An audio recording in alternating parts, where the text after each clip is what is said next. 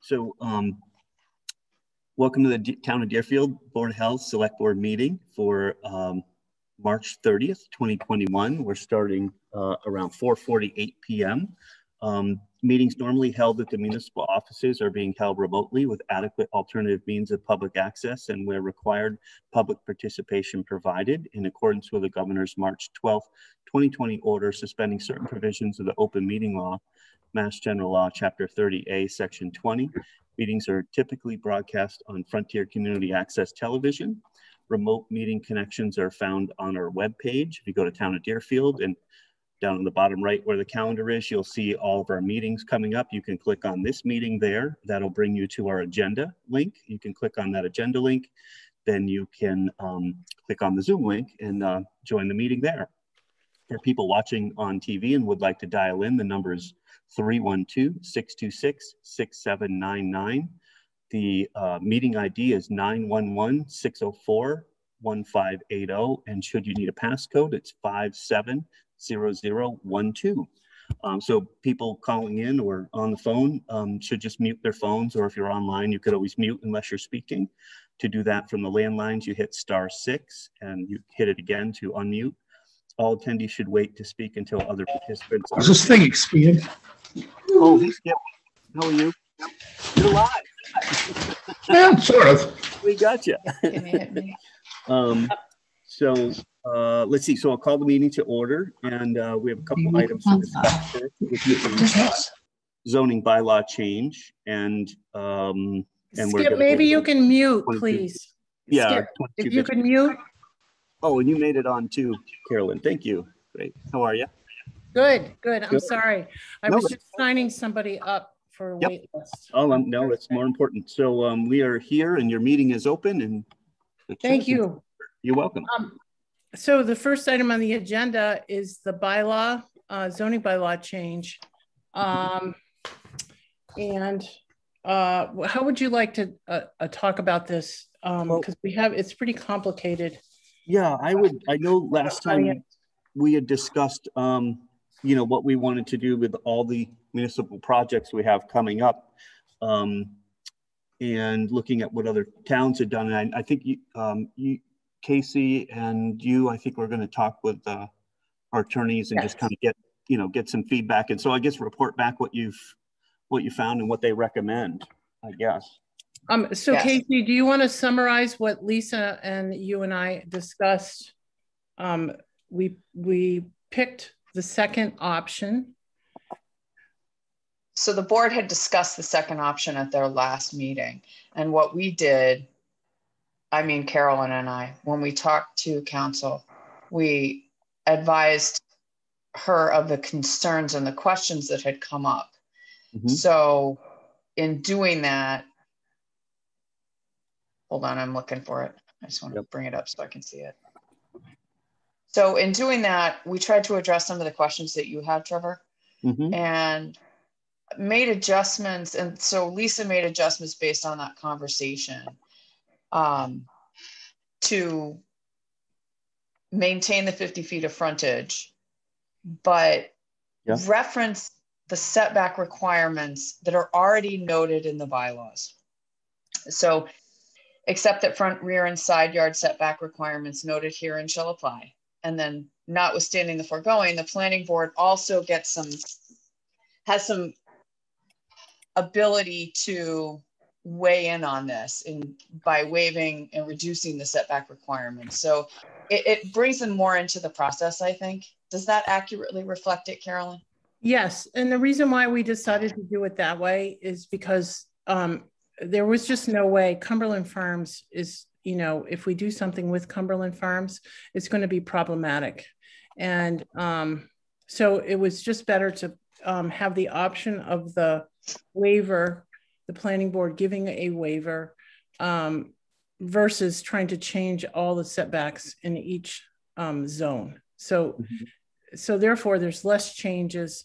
And if, you know, we do do something with Cumberland Farms, which already has setback issues and, um, and does not meet the setback issues of the 25 feet in the center village district, we Right. won't have any, we would not have any problems. It's better to do it on a project to project ba basis and have it be in the public interest, grandfather yeah. kind of argument versus changing the setback for every new project. Right. And um, potentially making people be, you know, upset that the town was trying to do something, yeah. you know, um, that wasn't, it wasn't, you know, fair. Checks and balances. Yeah. Yeah. Yeah. yeah. Yes. So, so the setbacks, the current setbacks are not being changed whatsoever. And, mm-hmm. and the idea again is that we would allow, um, should Cumberland Farms project move forward, then we mm-hmm. would talk to the planning board about a waiver. Okay. So that okay. also maintains some of the con- some of the other requirements in the bylaws, site plan review, et cetera. Which we intended to do anyways, right? Which you intended yeah. to do based on your my recollection of your conversation last week. Mm-hmm. That's correct. Yeah.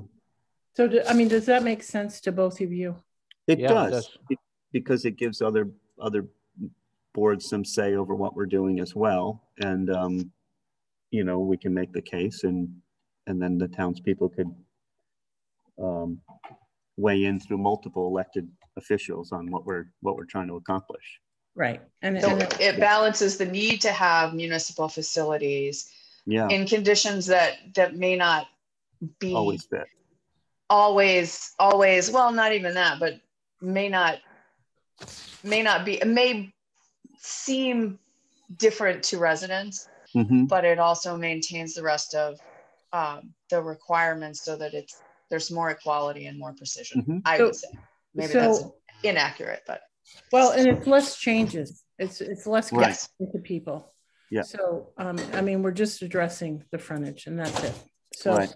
okay. um, it seemed like a, a, really good thing. And then um, the uh, I mean, that was basically it. That was the discussion. That Was so we we need we need to then make a motion or so I will make the motion that we forward this on to the planning board for a public hearing.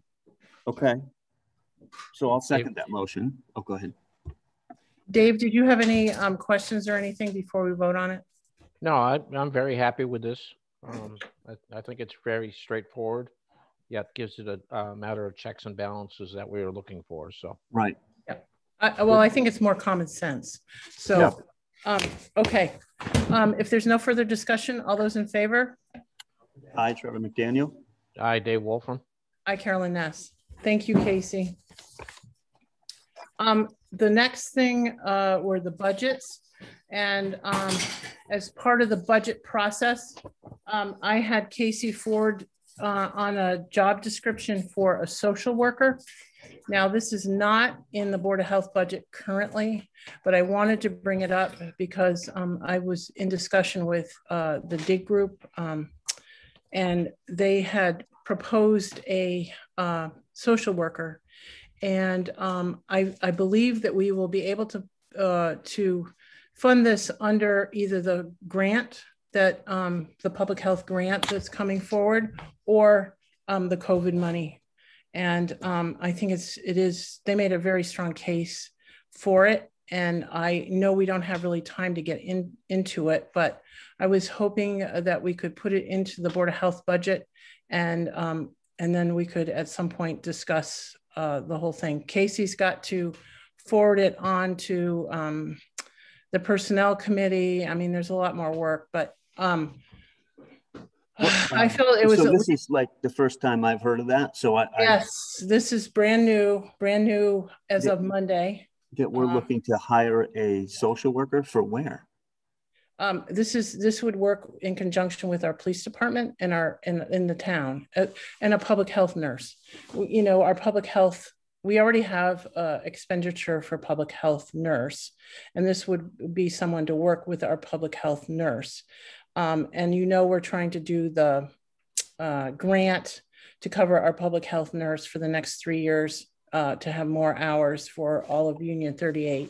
And also, um, so this would be part of it. Um, the, I met with DIG um, um, Friday and they forwarded, you know, and it was very constructive. So they put it together over the weekend and presented it on Monday. So, I mean, this is brand, brand new. And so I was hoping that you would not mind just putting it in the um, Board of Health budget for further discussion, because I know we don't have time tonight for it, but um, I think it is legitimate and um, based on uh, the needs of the pandemic and what is available in grant funding, I think we can grant fund it. So I, I'm more, I'm not feeling so stressed about trying to add additional uh, personnel, you know, that we couldn't afford. Yeah, I mean, I, well, um, There's a lot of questions around that. I had sent you a response, tons, Carolyn, because, tons. you know, And I, and I haven't, and I have not had time. Right. just, you know, I'm trying to get the clinic together for Thursday. So I apologize. This is, you know, more last minute. So, um, So this would have to be in the Board of Health budget. I guess I have a lot of questions. I wonder if there could be some further discussion before we make that adjustment. And finance is about to start, so, right. Well, I'm just ho- hoping that it doesn't get lost and that we, you know, at least have the ability to further discuss it. That's all. okay, I'll add this to next week's agenda, to the agenda for the seventh. Although Mhm. I do have to present the budgets relatively quickly, so I'm gonna send an email around about that. Okay. And the other thing for the seventh, we need to um, schedule um, a Board of Health um, vote on the spring sports.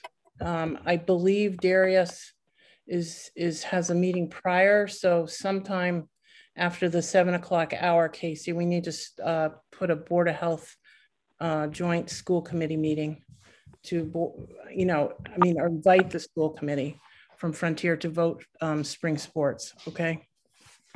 Okay, just- I just found out from Darius that they're voting it Tuesday, I believe. The sixth, Yeah, the sixth, so that we need to be able to do it for the seventh. okay, so right now we have Berkshire Brewing Company's hearing, and then we have a joint here, tentatively a joint hearing on the capital plan. right, So it would be, it would be, they can't come early anyway, so it would be after capital and Okay. all all that. Seven thirty? Yep, Yeah, Okay. seven thirty sounds good. Okay, I'm sorry, um, so we can go on to, um, the finance So, committee. meeting. Finance Committee now has a meeting. Yeah. Thank you. Thank you, uh, Trevor and Dave. yeah, sure, yep.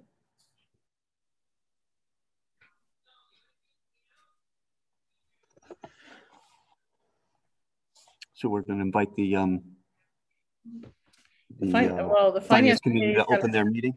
yeah, they're gonna open their meeting and then invite us, Great. I think. Okay, The, uh, the only thing I, concern I have on the top of my head is I don't want to have the funding of the social worker jeopardize our possibility of expanding our community nursing.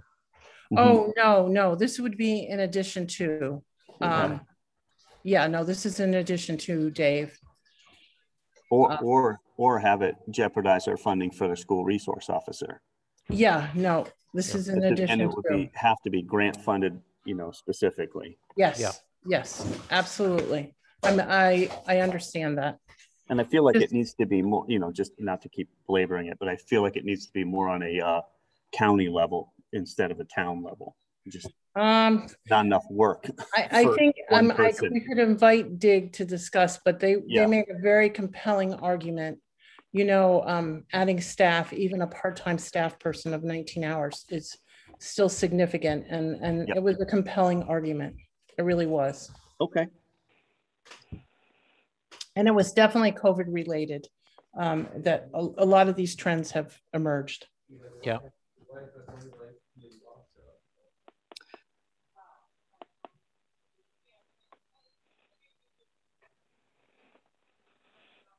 It looks like Julie's not here yet, so I think that's why. Oh, okay. I was wondering, I was Unless wondering. she's on the phone. Yep. Yeah, I guess I may, maybe we'll wait for for Sure. Julie. Otherwise, is it John who's uh who's our victim?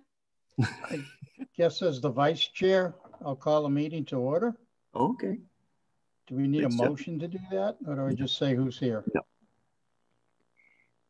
Okay, um, roll call then of who's here. John Pereski, Allison Vandervelden.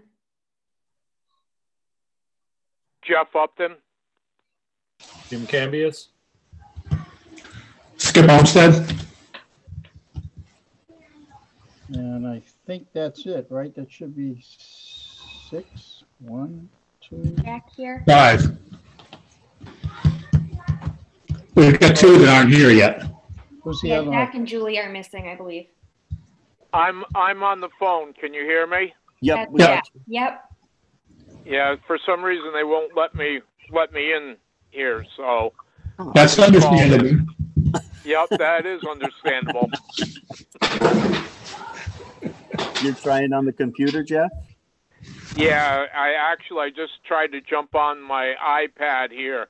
Uh, and, and I've, in the past, I've been able to get right in, not a problem, but for some reason it won't let me in on my iPad. Okay. So I'll keep trying. I'll stay on the phone, that's all. Okay. It's unable okay. to detect my camera. Yeah. It could be worth if anybody's got Julie's number, texting her because it seems unlike her to be absent without uh, I letting us can, know. I can send her a text. Yeah, that's in case she true. forgot. Hopefully she's okay. We also need Brenda. Oh, yeah. Can, can anybody hear me? I can hear you, Brenda. Yep. Can you hear me? Yes? She's here, Skip. Oh, good. Oh. Uh, my camera, my camera doesn't seem to be working, and the audio on my on my computer doesn't seem to be working. So, Oh, trying to um, participate, I guess, by phone. okay. Sounds good, Brenda. Thank you. So Brenda, you're the 605 number, right? I'm the 605 number. Thank you. Yeah.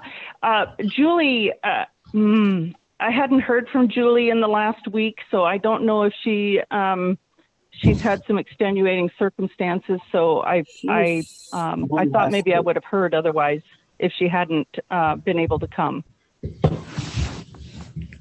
She was at last night's meeting, so I think, um, I just sent her a text to just see. Okay. Great. All right. We could start with the Yeah. with the minutes. Um, there's enough of us here, I think, to approve those. Sounds good to me. Is there a motion? I'll make a motion to move the minutes of the last meeting. Can you say the date It was. for the record? I it was the 16th. I don't have, I don't have them in front of me. I believe it was March 16th. I believe so. I gotta grab my date book. Anybody want, to? I'll second it. Approve the minutes of the March 16th meeting. I'll second it. Any discussion? All those in favor? Aye, John Perez. We need to take a roll call.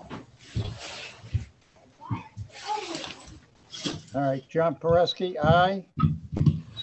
I, I'm gonna go by the pictures on the, my screen here. Skip Homestead, Uh, Aye. Allison, Aye. Vandervelden, Yep. Yes. Aye. James Cambias, Aye. uh, Jeff Upton, Aye. and that's- that's it, right? There's five. Okay. The minutes are, of the March 16th meeting have been approved. Um, Brenda, you there? I am. You might want to, based on, you gave us a package on the desk I- up front. You might I want to did. give some guidance as to what we want to discuss, but I have one question. First, Sure. Conservation Commission one seventy-one fifty-four hundred was previously approved on February sixteenth. And we received a new sheet.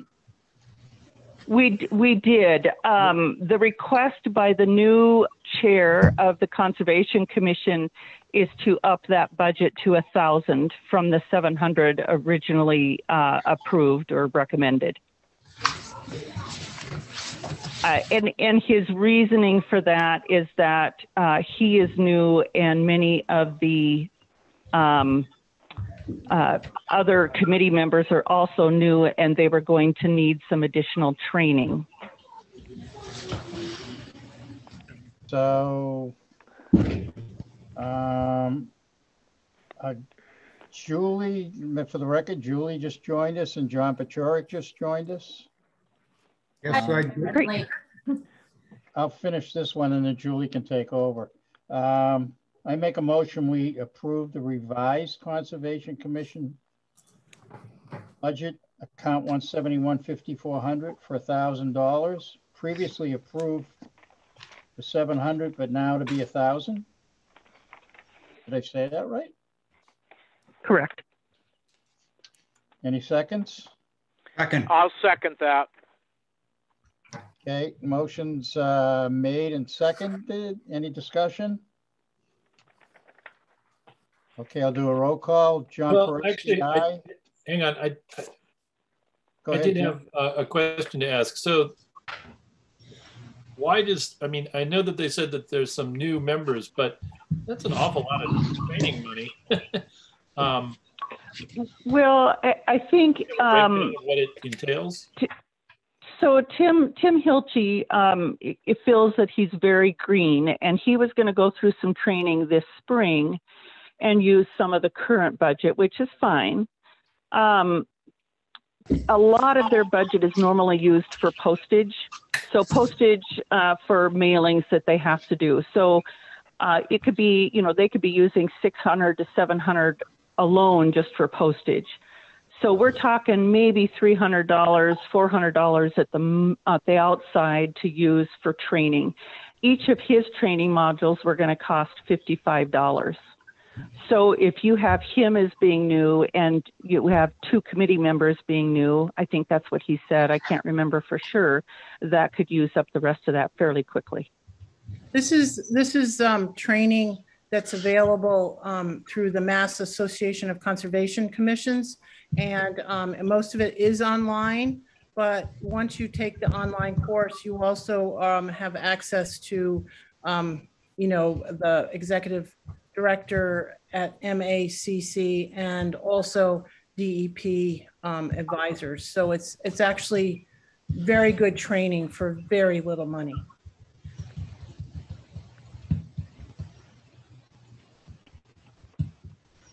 Okay, James? Okay, thank you. All right, I guess, um, any further discussion?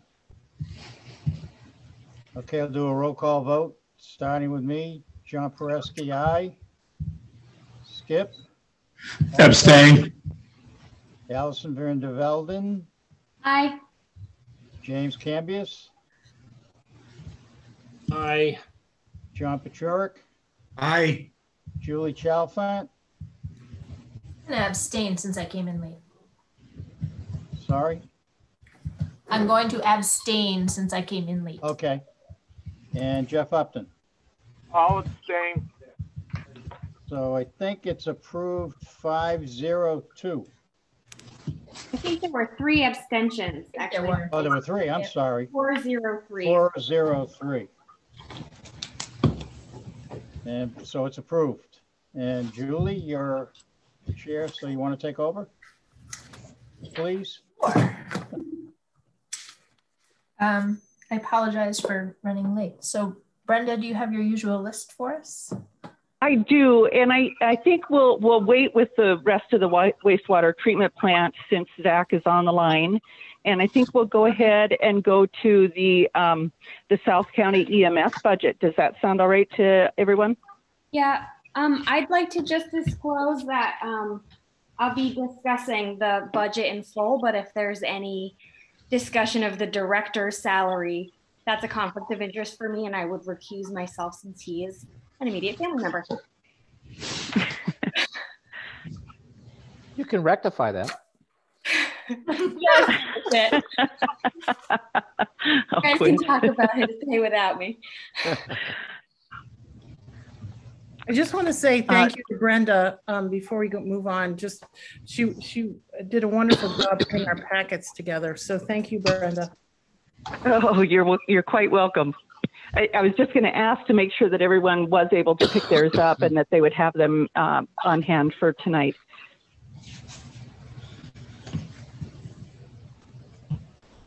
Yes. Yes, and I, I- you did a wonderful job, that's why I wanted to tell you, it was so organized, it was great. Thank you. Well, I thought, I thought extra notes would be helpful. Yes, it, absolutely. So thank you. Great.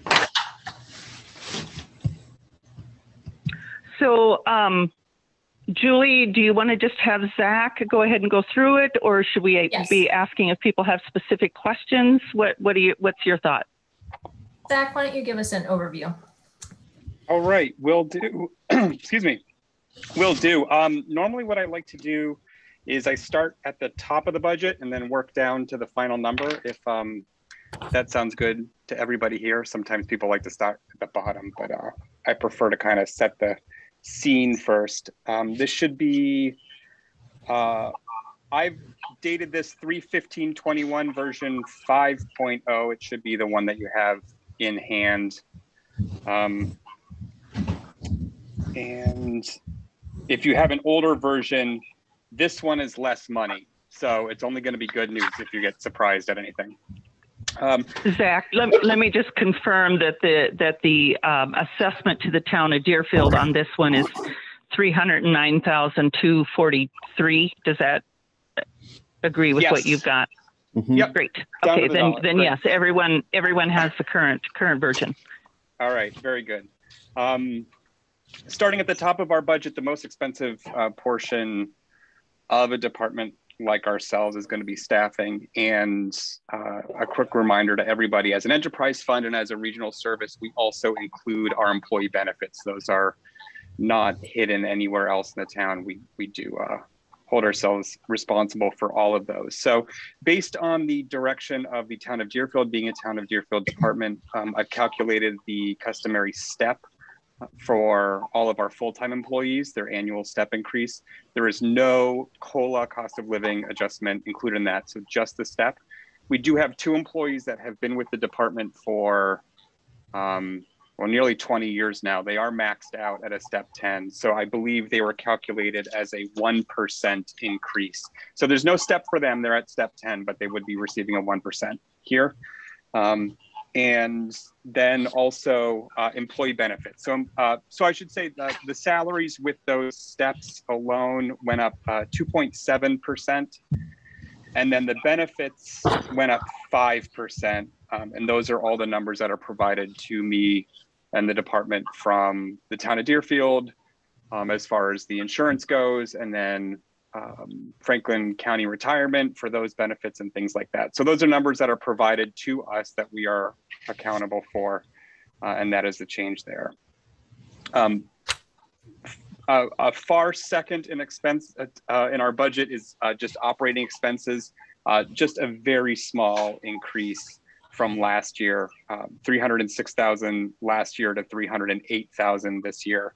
Um, and that's just very minor adjustments in our um, billing expenses and our radio system fees. Those are the fees that we pay to Franklin Regional Council of Governments for using the radio system that is countywide. That money supports that system and repairs that system. So that goes up every year with the cost of maintenance. And then towards the bottom, we have the uh, Deerfield indirect costs. So that is the money that South County EMS pays to the town of Deerfield for all of the associated administrative stuff, the town hall stuff, the town administrator, um, clerk, treasurer, collector, the accountant, all those things. Uh, that is calculated based on um, basically South County's portion of the overall town of Deerfield budget and um, as a metric for what type of burden we we place on the town. So that number is provided to me um, by Brenda, um, and I'm sure she could elaborate if we want to hear it. But basically, it's down for fiscal year 22, just the way that those um, numbers are calculated. We we had a some capital expenditures in 2020. Uh, which were calculated into the 21 indirects, but none in 21. So that is not adding to any sort of indirect costs in 22. Um, That's correct. So yeah, great. Um, so uh, the very the very bottom line there uh, to run a 24/7 paramedic level service that has one ambulance on 24/7 and has additional staff during our busy hours. Soup to nuts, staff salaries, benefits, equipment, billing, all that stuff uh, comes to uh, just over 1.4 million dollars in fiscal year 22.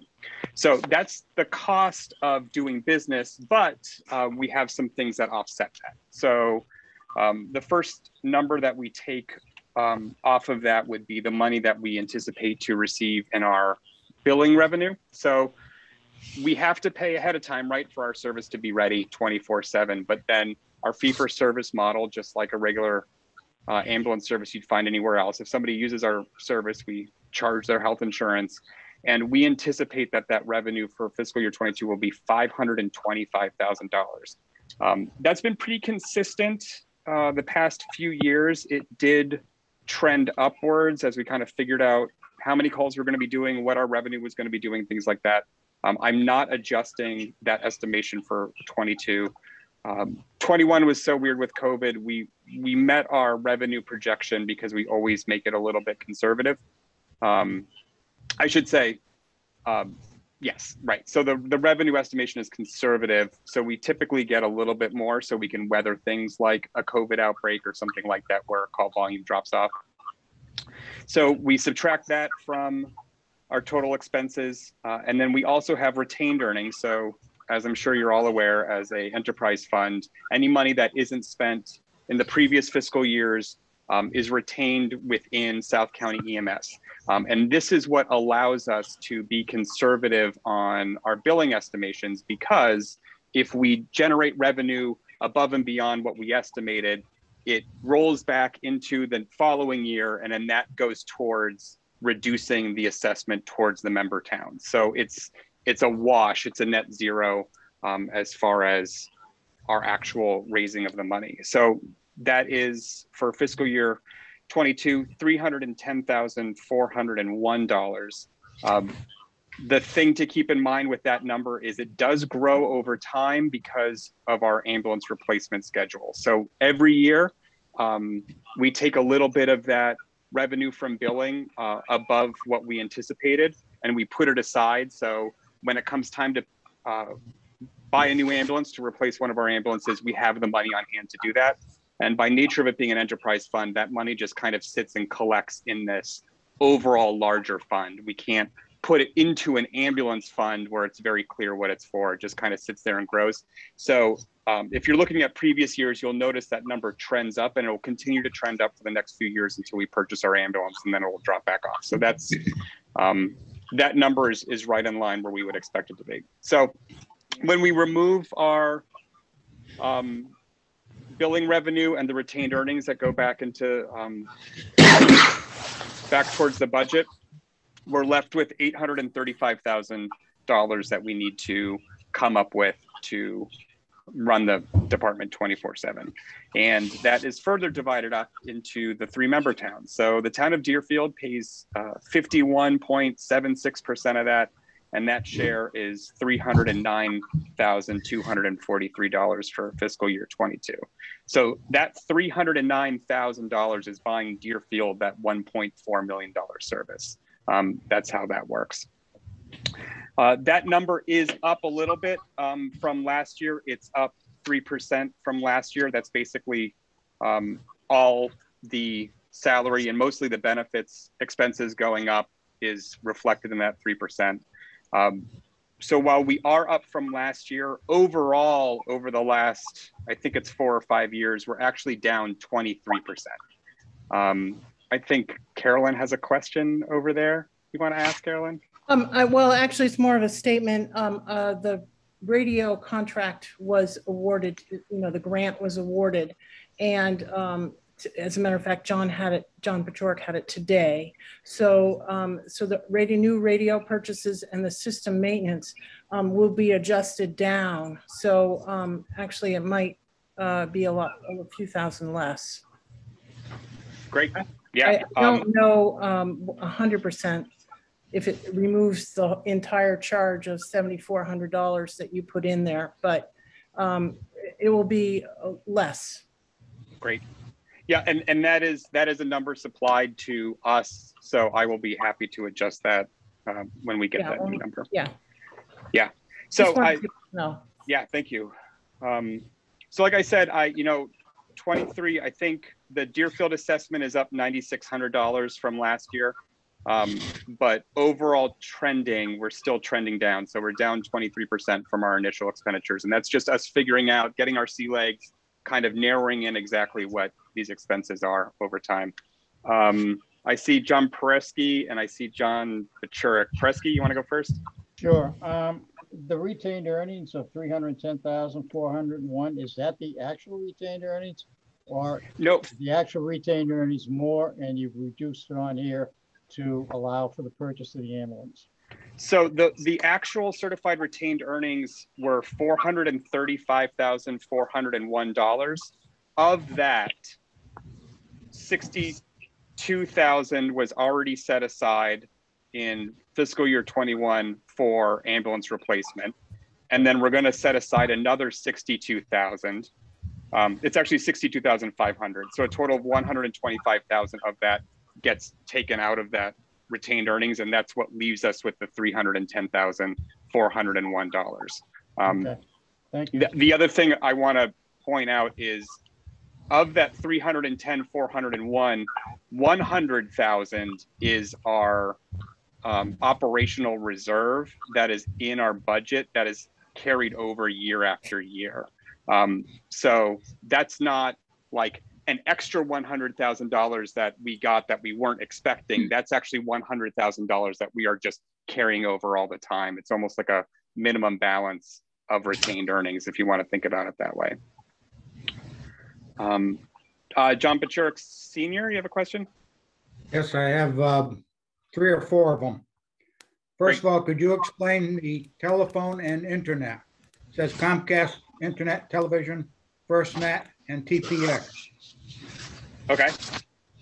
Um, so that is all. Uh, uh, let me see if I can. Yeah. So Comcast Internet Television. That is our obviously our, our station television, but also the internet that we have for our department. So that includes not just the computer internet stuff, but all of our uploading and um, patient care reports. Those are all hosted offsite in a secure server. That's all done through our internet connection here at the station. So that is internet and um, television for the station. FirstNet, One question on the television. Yeah. My understanding is that we have an agreement with Comcast that they provide the television connection to every one of our town buildings free. Are you paying for that? We are. I I was told that we are responsible for paying that ourselves. Um, if that is incorrect, then I would like to know that. Yeah, I would like to get that clarified. Well, I'd like to request that the select board look into that because the agreement we used to have with Comcast was that they would provide cable TV to each one of our town buildings for free. That's what was in the original agreement back a long time ago. I don't know if it's changed since then. Um, Interesting. yeah, All we, right. yeah, we can look into it, John. I, um, Well, that's all I'm asking. That's you to probably in look the into cable it. franchise agreement. Yeah, yeah, it is. okay. So if it's a But way that of may have saving twenty changed, dollars or fifty dollars a month, it's better off to save something if we can. That's Yeah, the only reason absolutely. I asked that question. The Uh, second question I have is, yeah. you pay a sewer bill. Do we pay a sewer bill? Do we pay a sewer bill? That's a Uh, great question, John. We pay a know. water bill. Would that be an indirect cost? Or no? No, no. Um, if, if there is a sewer bill for that building, I believe that the town would pick that up and Kevin would be the one to answer that question. Um, I don't know unless Casey, Casey knows anything different than I do. Why would the town? I pick don't, up but I'll when see this if I can says find Erie out. Town- Because, This is because the three town is towns. responsible for the building. I don't, I don't know. Um, and on here. I, I, I will tell you this, we do pay our water and our electric bills separately. Um, I don't ever recall seeing a sewer bill come across my desk or through the mailbox. Um, so I don't know if it's going someplace else or we're just not getting billed for it. Well, I know where it's all going. My last question. Do you pay any OPEB fees? Oh, yes. So that is um, down towards the bottom. Uh, actually, it's just below, it's included within the transfer of the Deerfield General Fund. Thank you for reminding me. So um, our indirect costs are 55,345 and then our OPEB is $2,080. That was um, based on, uh, what was it we decided last year? It was a percentage of Okay, no, it's the same, cost. Yes, we cannot. It's cannot, the Yeah. same percent, yes. right, same percent that we use for the town of Deerfield. Yeah, Yep, you so- can't, you can't use a different percent. Yep. So so whether or not that's enough, that's not my battle. All I know is that South County EMS is um, taking responsibility for those costs and and throwing it into our uh, assessments like we would any other cost. And then let me ask the selectmen a question. When are we going to have the next uh, session on OPEB funding? The next class that we're supposed to have? Um, well, John, you know, my, my feeling is it's way underfunded. Oh, Um, I'm. I'm open for a discussion at any time. Um, uh, I- Trevor has suggested, and I think even Dave has brought up the fact if we get a lump sum money from like marijuana or something like that coming Oh, in, that we I need to know, put you it said into that the- last meeting. I think that- that's a great idea. But we haven't had. My only any- question is this, when, we know it's way underfunded, you know, it, I know it, and everybody else does. But I'd like to see how we get that corrected, that's all. Mhm. Thank Yeah, you. uh, me too. You know, that's been my argument for many years, John. Uh, John, I'll talk with, um, Barb about, um, getting, getting somebody in to hold a, another session, because I know that we're, I think our assessments are coming up again, or I know she meets with them. I think think it's just June. springtime, if I remember correctly. You're right. I think it is. So I'll, I'll Yeah. I'll put it on my list to do that. To hear that too. Thank you, Trevor. you. And thank you, John, for being willing to discuss it again. I know no one wants to fund it, but it is really important that we do that. Well, one of the philosophies before was that we could fund it after we finish paying for our retirement funding, which is in about two thousand thirty-three. Hmm. But. I agree with you. I don't think we should wait quite that long. I just want to make sure that we're doing something to take care of the OPEB potential problem that will be cropping up in the future. Yep. Thank you. I agree. That's all I have for questions. Thank you. Thanks, John. I have a question for you too. Um, can you talk about receipts and your percentage of like how much of what you're owed you actually collect from people and how does that compare to like is there averages that most Yeah. people collect or Yeah.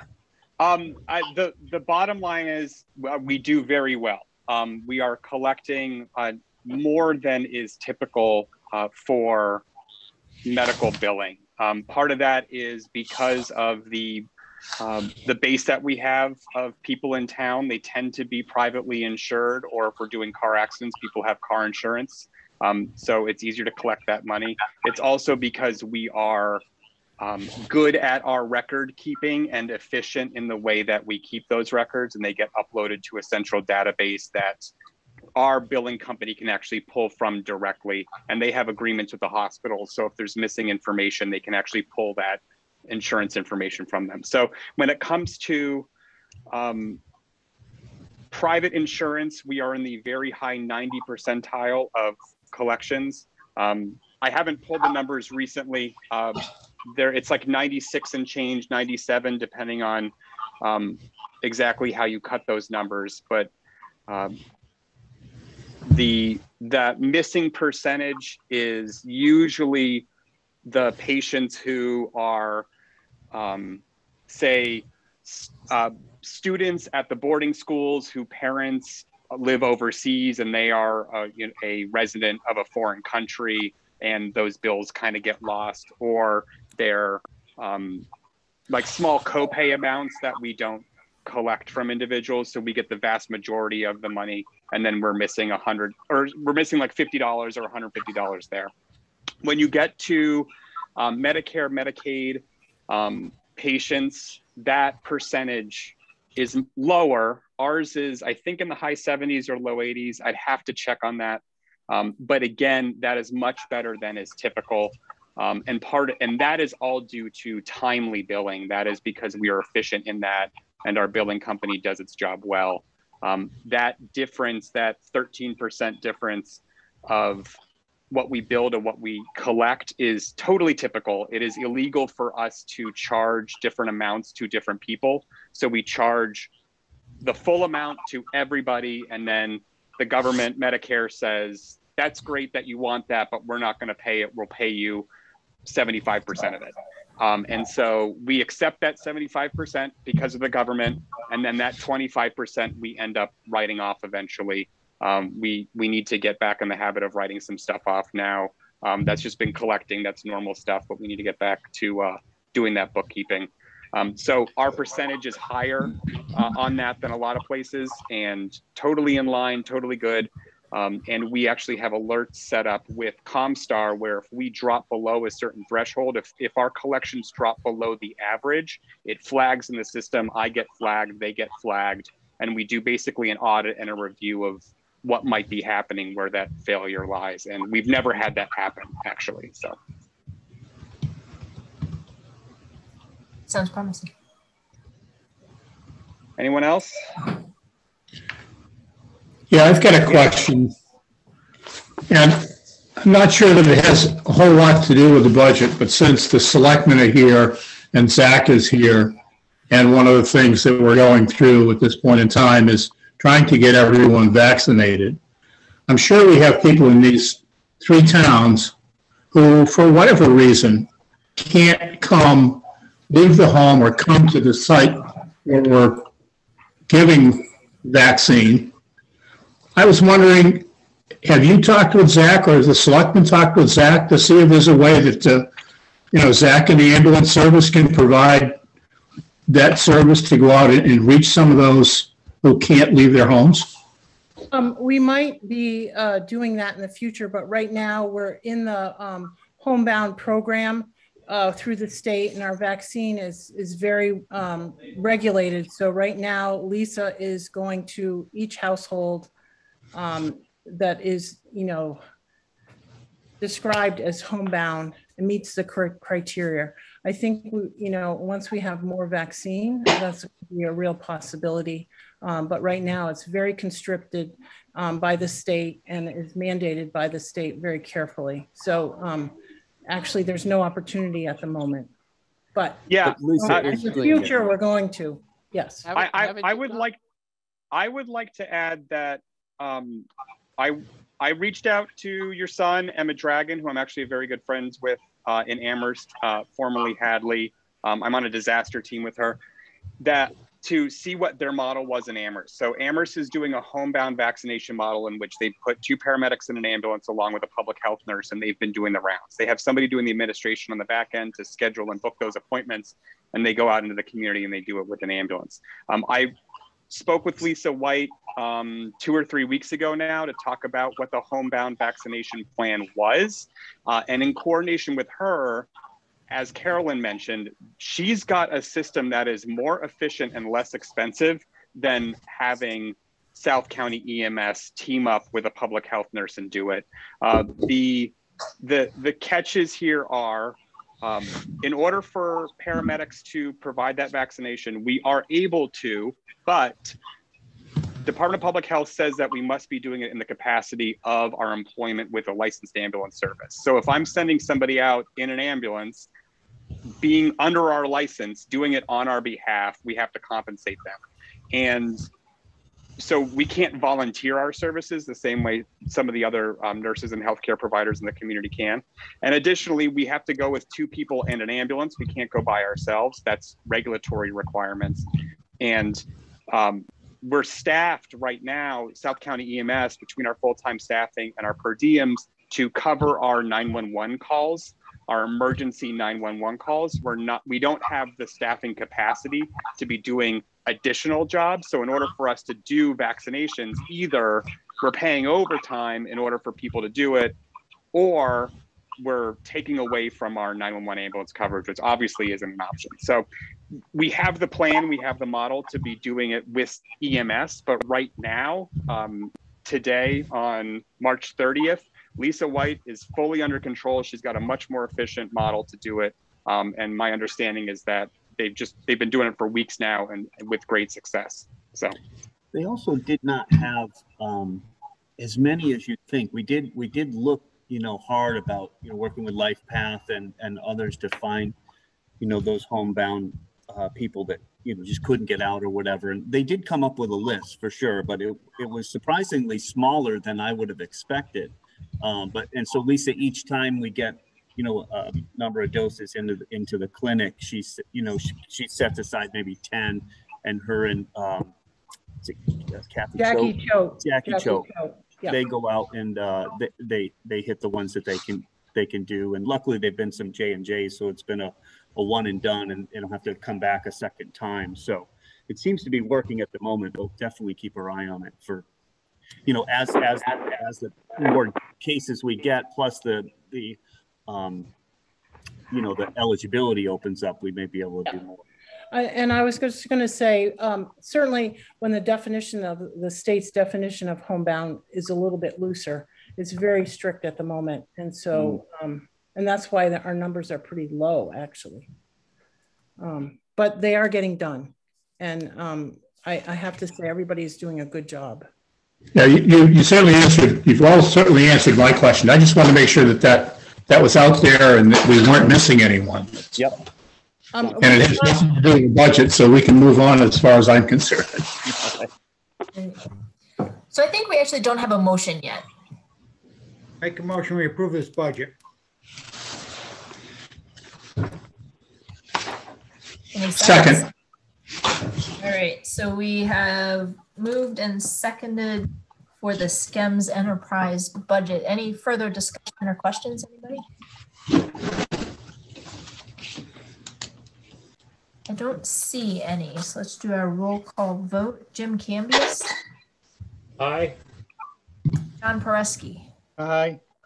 Skip Olmsted, Aye. John Pachurik, Aye. Jeff Upton, Aye. Julie Chalfant, aye. Allison Van Velden. Aye. All right, that's a seven zero zero passes. Zach, for coming and talking to us. thank you very much. Gets gets great. Great. Thanks. See you, Zach. All right. I think Christina's next on our agenda, right, Brenda? Uh, yes, Christina is next. Beautiful. Uh, um, Where are you? Five forty-one.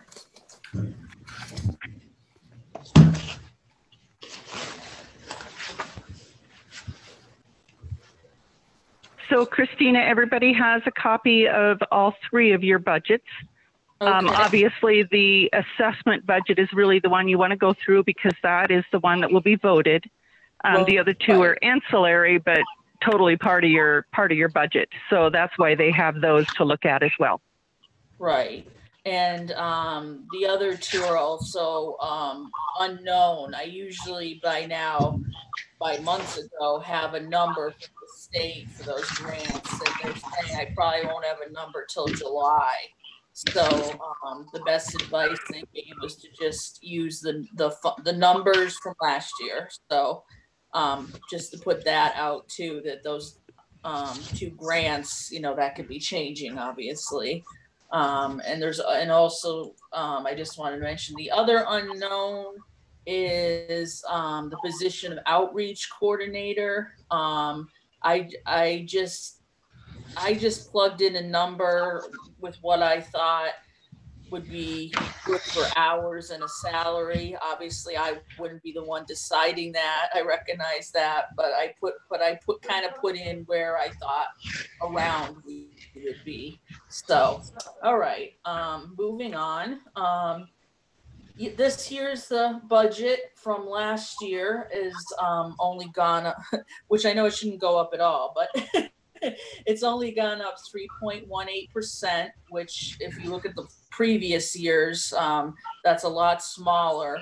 Um, because we had been building up programs that had uh, historically been underfunded.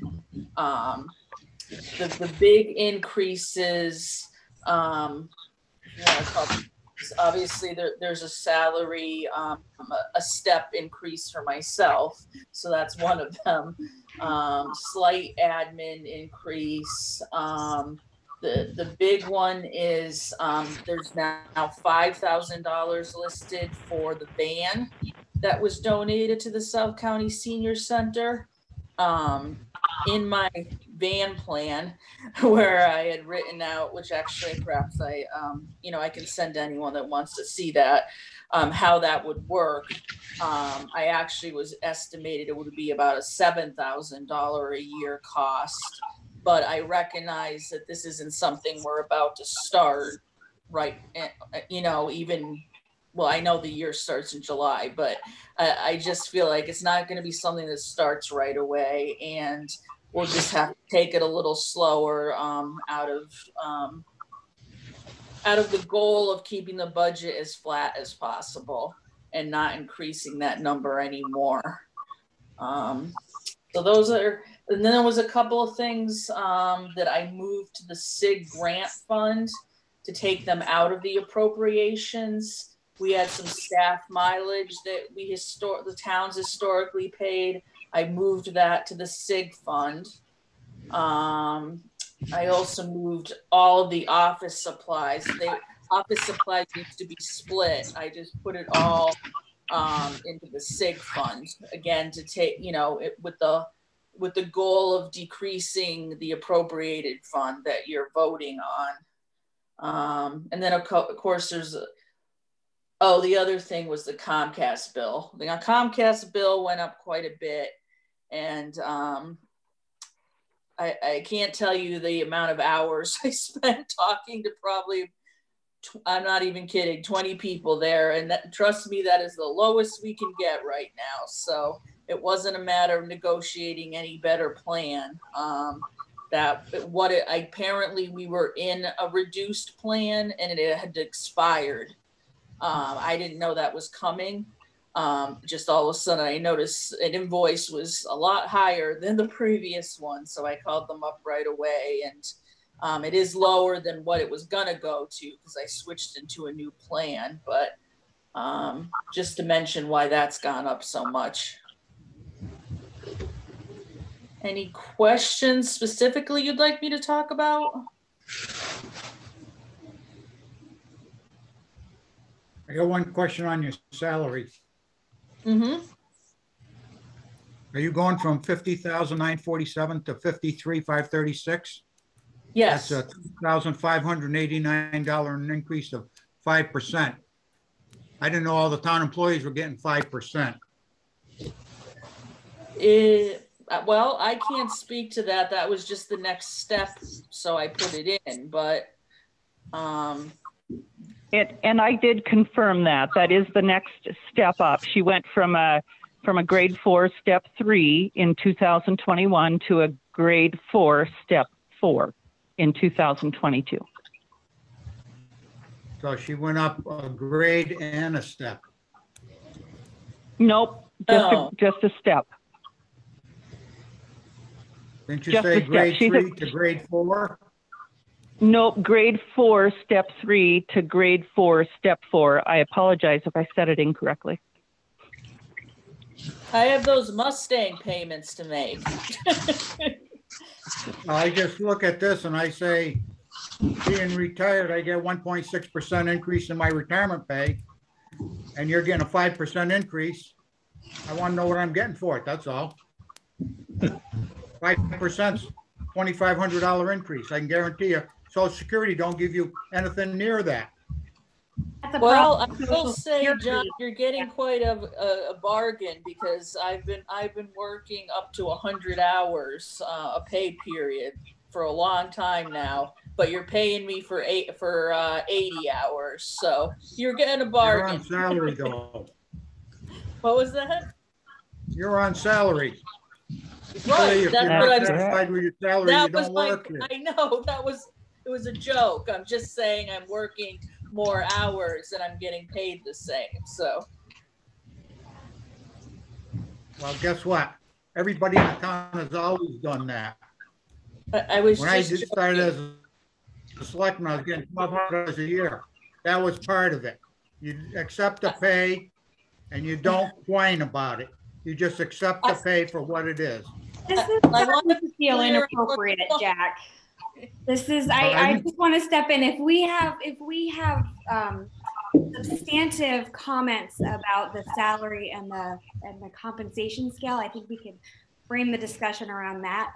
But I think, um, it is starting to feel inappropriate to discuss with the director a, a pay scale that she actually has no influence over and may very well be deserving of regardless of if social security is underpaying. her seniors. What I'm saying is, when you get a five percent increase, I didn't realize there was that much of a discrepancy in our different schedules. I didn't think All it right, went I up think we're, um, and a half let's thousand move dollars on a from year. the That's why I'm discussion of asking. this. Let's move on from the discussion of this. Skip, you had a question?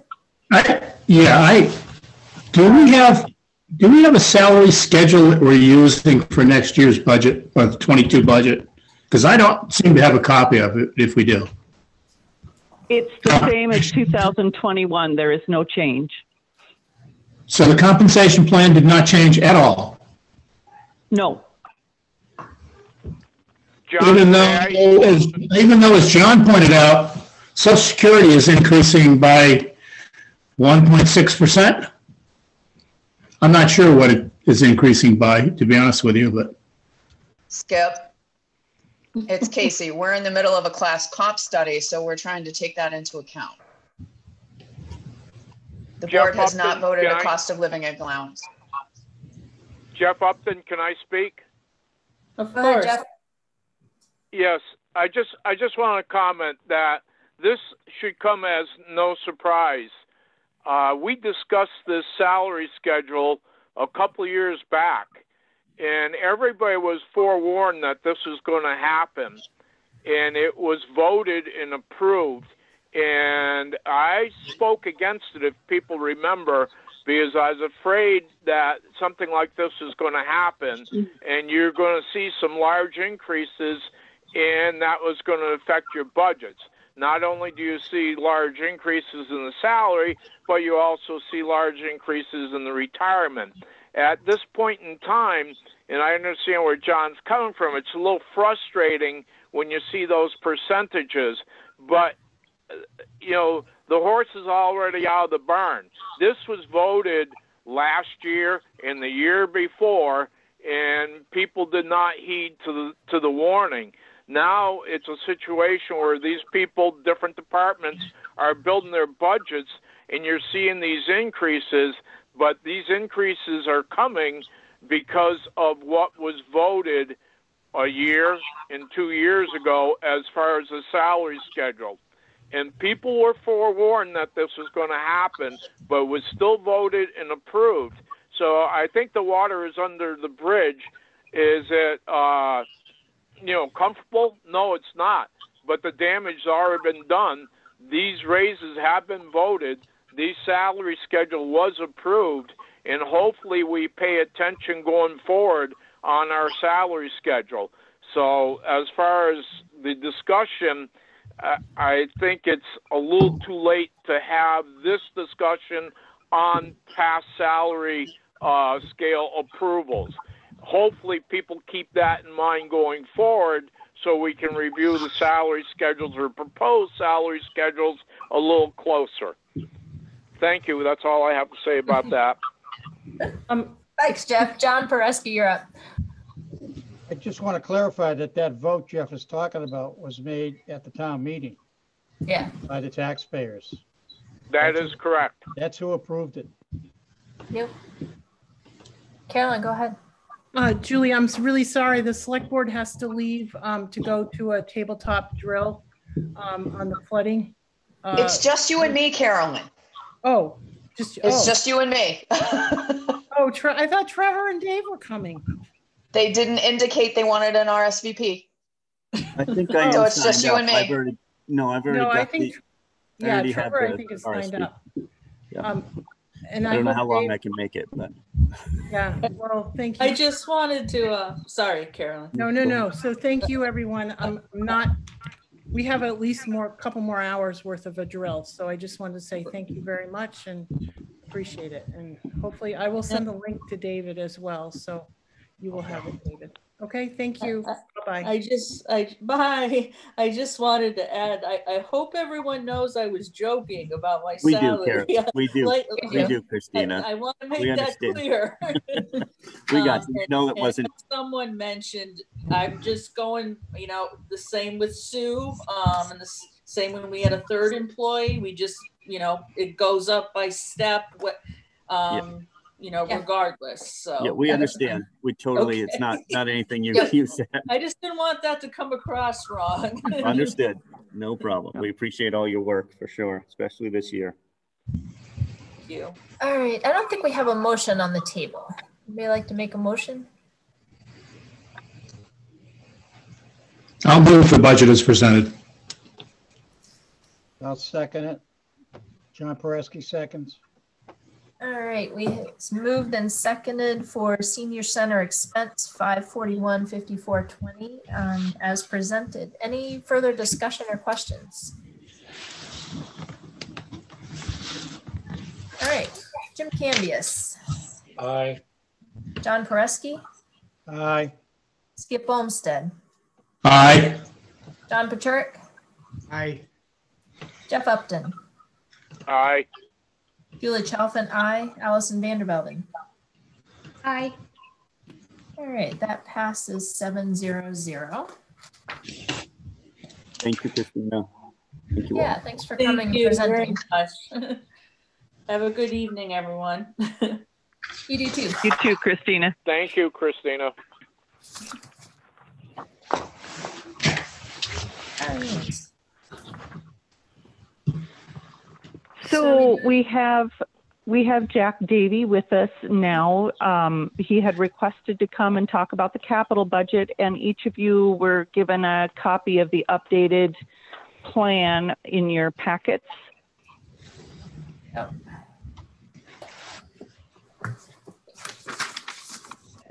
That was a little change, Julie. You did get that email from me, I, I did. assume. Yes, thank you. Good, good. Okay. Good evening, everyone. So, so everyone does have this capital projects plan that, okay. So, so I'm just, uh, I'm just gonna go through, uh, the spreadsheet basically. Uh, This year, the capital committee was presented with something like twenty-six requests, which, uh, we kind of boiled down to, I think, eighteen. And on your spreadsheet, um, you'll see going, starting from the left, the first column is uh, fiscal year 2021 town meeting approvals.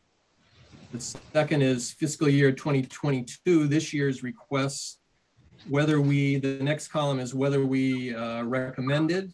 I- It's uh, headed approved. We don't really approve anything. We just make a recommendation. Um, And then the next column is fiscal year 2022 recommended and the amount. And uh, the next column is priorities. We made a priority list from 1 to 18, 1 being the most important, the the sewage treatment plant, and 18 being what we uh, felt to be the the uh, so- the first item on the list is uh, the contribution to the Capital Stabilization Fund of $250,000, which we do recommend. And we, um, we, uh, we called that a, a 16 on our priority list. So quite a ways down on the priority list. Uh, Can can I, can I interrupt just a second? What's the date? I just want to make sure we're all working with the same plan. One I've got is 2521. No, there's a new one, Uh, three there's a twenty-four newer one, twenty-one. three- Yeah, 324, 20. It was in the latest packet. I just have to go see where I put it, that's all.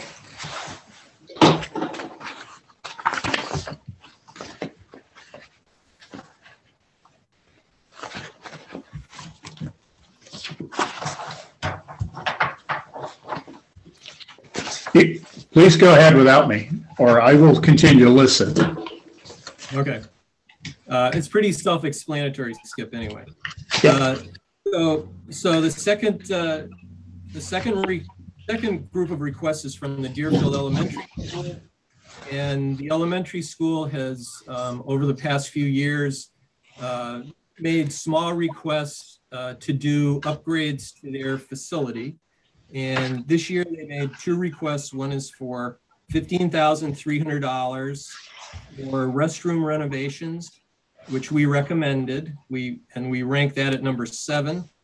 And um, the other one was for, was to uh, continue to replace flooring with, um, to tear up the, uh, the old carpeting and replace it with um, vinyl flooring. And that's twenty-one thousand two hundred, and we rank that at number eight. Uh,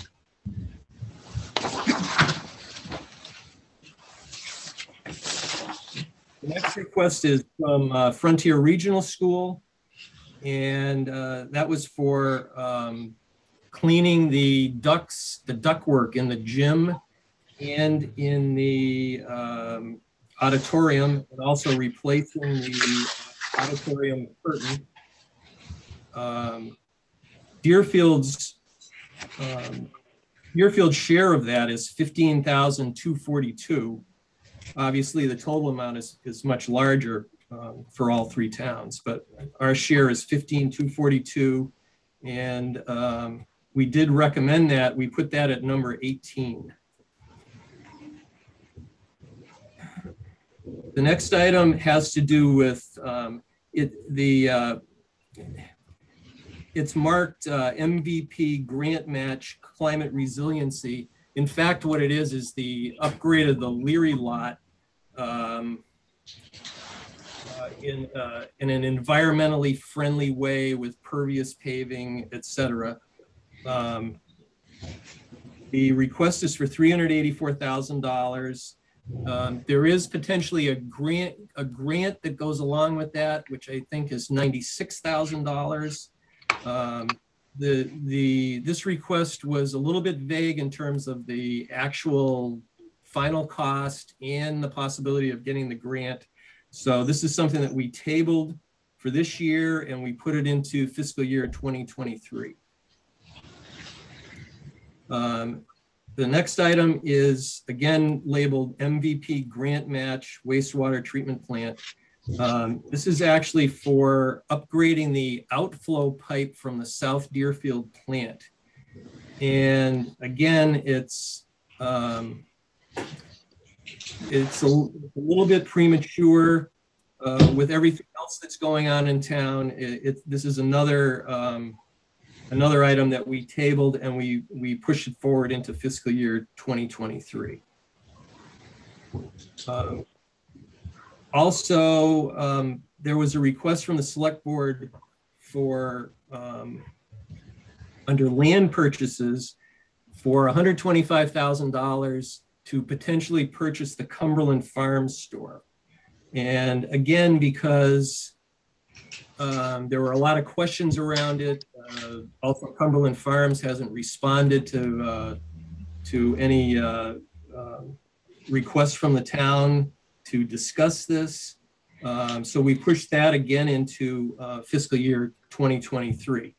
And I just want to comment on that, that um, many committee members, many of our committee members were concerned that we would purchase Cumberland Farms uh, and then become responsible for the environmental cleanup costs, which no one, no one has any intention of purchasing that and then taking on an environmental clean. So just, just to clarify. Um, in Jack, can I- can I ask a question? Are the, are the tanks still in the ground? Um, Fuel tanks? believe so, but I, you know, really, I don't, I don't know. There's, there's a lot of questions about that. The tanks are still in the ground, Okay, so, and they have one No, more it- year to to remove those per agreement when they move to the new location, oh, they do. So they're supposed to remove the tanks and the pumps, within the next year, yes. but there, you know, there could be other contamination too.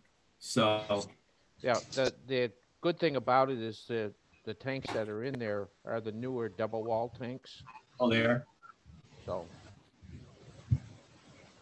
Okay, so it would, it would be nice to get that eyesore out of there in, you know, by some means, but um, as far as the capital committee, we, you know, we just deferred that until uh, 2023. So the next category is the municipal offices. And um, the, the first request was for, was actually for, um, I don't know why this is under municipal offices, but uh, the first request was for uh, town common design and improvements. And again, it's kind of, it's kind of mislabeled. The fiscal year 2021 request was $40,000, which was for an uh, ongoing design work, which Berkshire uh, Design is doing and, and I guess hasn't completed. The 55,000 is, is kind of a placeholder for um, actual construction. But since the design isn't done, the, there really isn't a firm estimate of how much it would cost to upgrade the common. And uh, it, it, it seems like now, um, according to Trevor, it's pushing around $250,000. So, uh, so we tabled this item and, um, you know, we, we just need more information before, before we can di- really dig into it. The next item is a request um, for town office file server to upgrade the uh, computers in the uh, town office. It's thirty-five thousand dollars, and we did recommend it, and we ranked it at number thirteen. Um, Then there's an, the next item uh, has to do with paving the municipal offices and uh, uh, the police department, but, but also um, an entryway to the ballpark. And the, um, the purpose of it is to cr- increase the safety of traffic flow around town hall and the police department, uh, especially when there are um, ball games and there are a lot of parents in their cars driving in and out and there's a lot of congestion. So it's, um, at, at, at first we kind of thought it was, it was a lot of money just to pave the, the, uh, uh, police department parking lot, but it, it's actually a lot more than that. Um, you know, once we looked at the plans, it, you know, is mu- much more extensive. So we did recommend it, but we placed it at number 15 on the priority list. Um, a evaluation of the town offices has been done by uh, an outfit called GRLA Architects. And they recommended a, a number of repairs to the municipal offices. And this year's request is for $60,000. Um, It's, um, I- I don't, I don't think it's been decided exactly what repairs are going to be done. Um, but we did recommend 60,000 to get started. And then if you look to the right in your, on your spreadsheet, there's additional, going to be additional requests in the next four years. So we did recommend that and uh, we ranked it at number 10.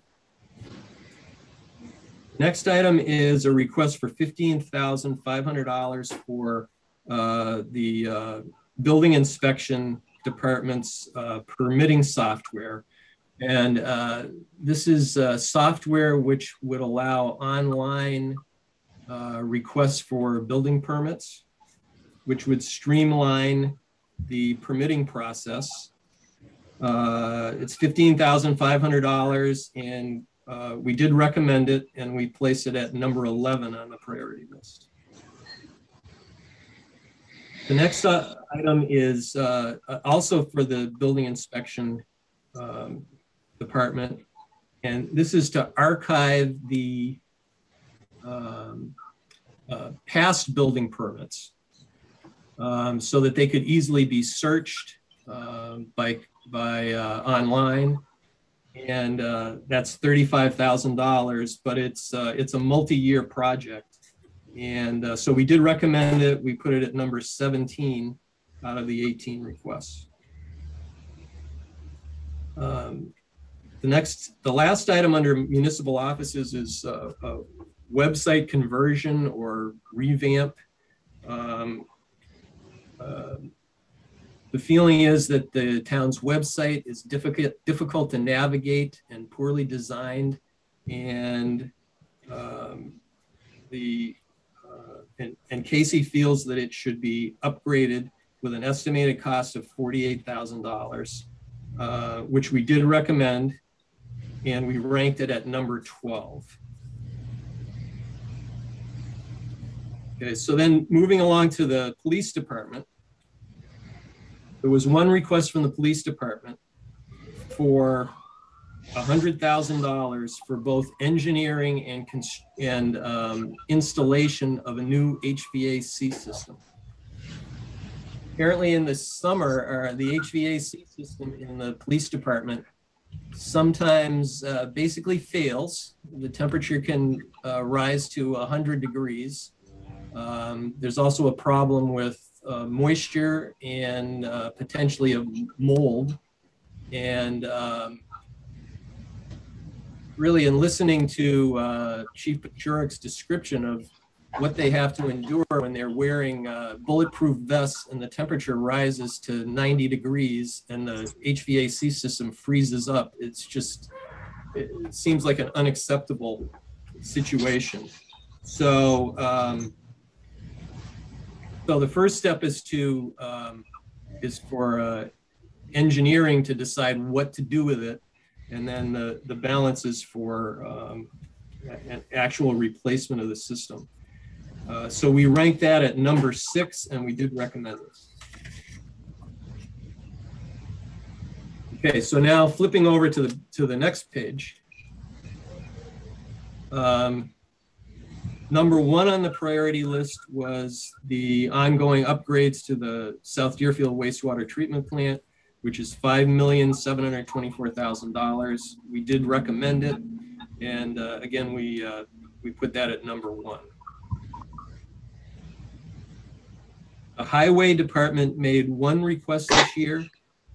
Um, they currently have a multi-purpose piece of equipment which they use to clear sidewalks. Uh, it has a sweeper on it um, and it is now inoperable and, and uh, uh, needs extensive repairs. So they have requested uh, a machine called the Wacker-Neuson WL32LF multi-purpose loader. And this is a uh, multi-purpose machine. It has a, it, it starts out as kind of a mini loader with a bucket and then it has attachments for uh, including a snow blower, a, um, a V plow, and a sweeper. Um, sounds like the kind of machine that any of us would like to have. The downside is it's $105,000. So we, we did recommend it. Um, and we put it at priority number five.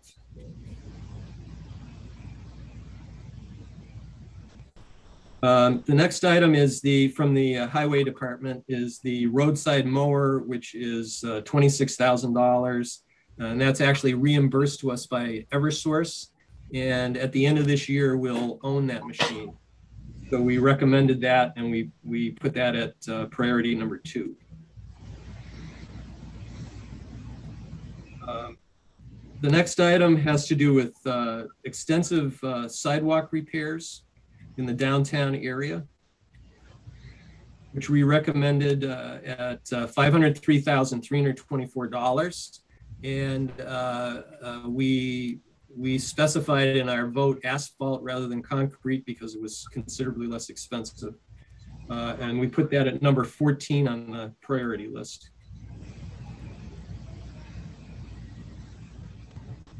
Uh, Next department is SCEMS.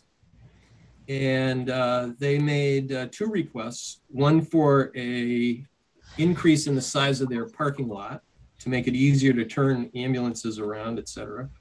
That's 25,000. Uh, We did recommend that.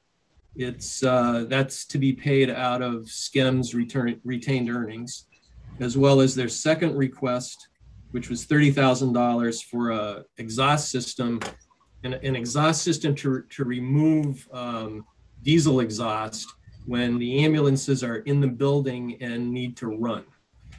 So um, actually, I was surprised that, that we didn't have that.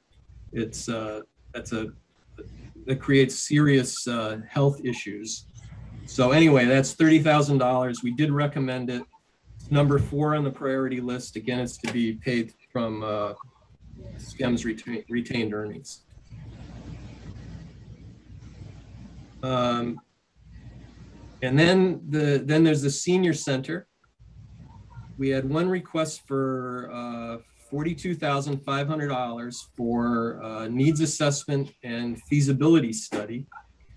And this is actually a, this is like uh, an, actually a two-part uh, request the feas- feasibility part, the first part is a professional survey of town residents who try to understand what our citizens want in a senior center.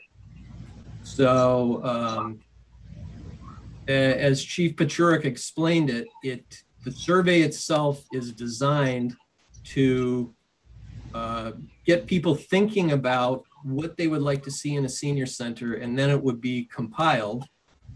And once that's done, the feasibility study of rehabbing the current senior center would be engaged using the information from the needs assessment.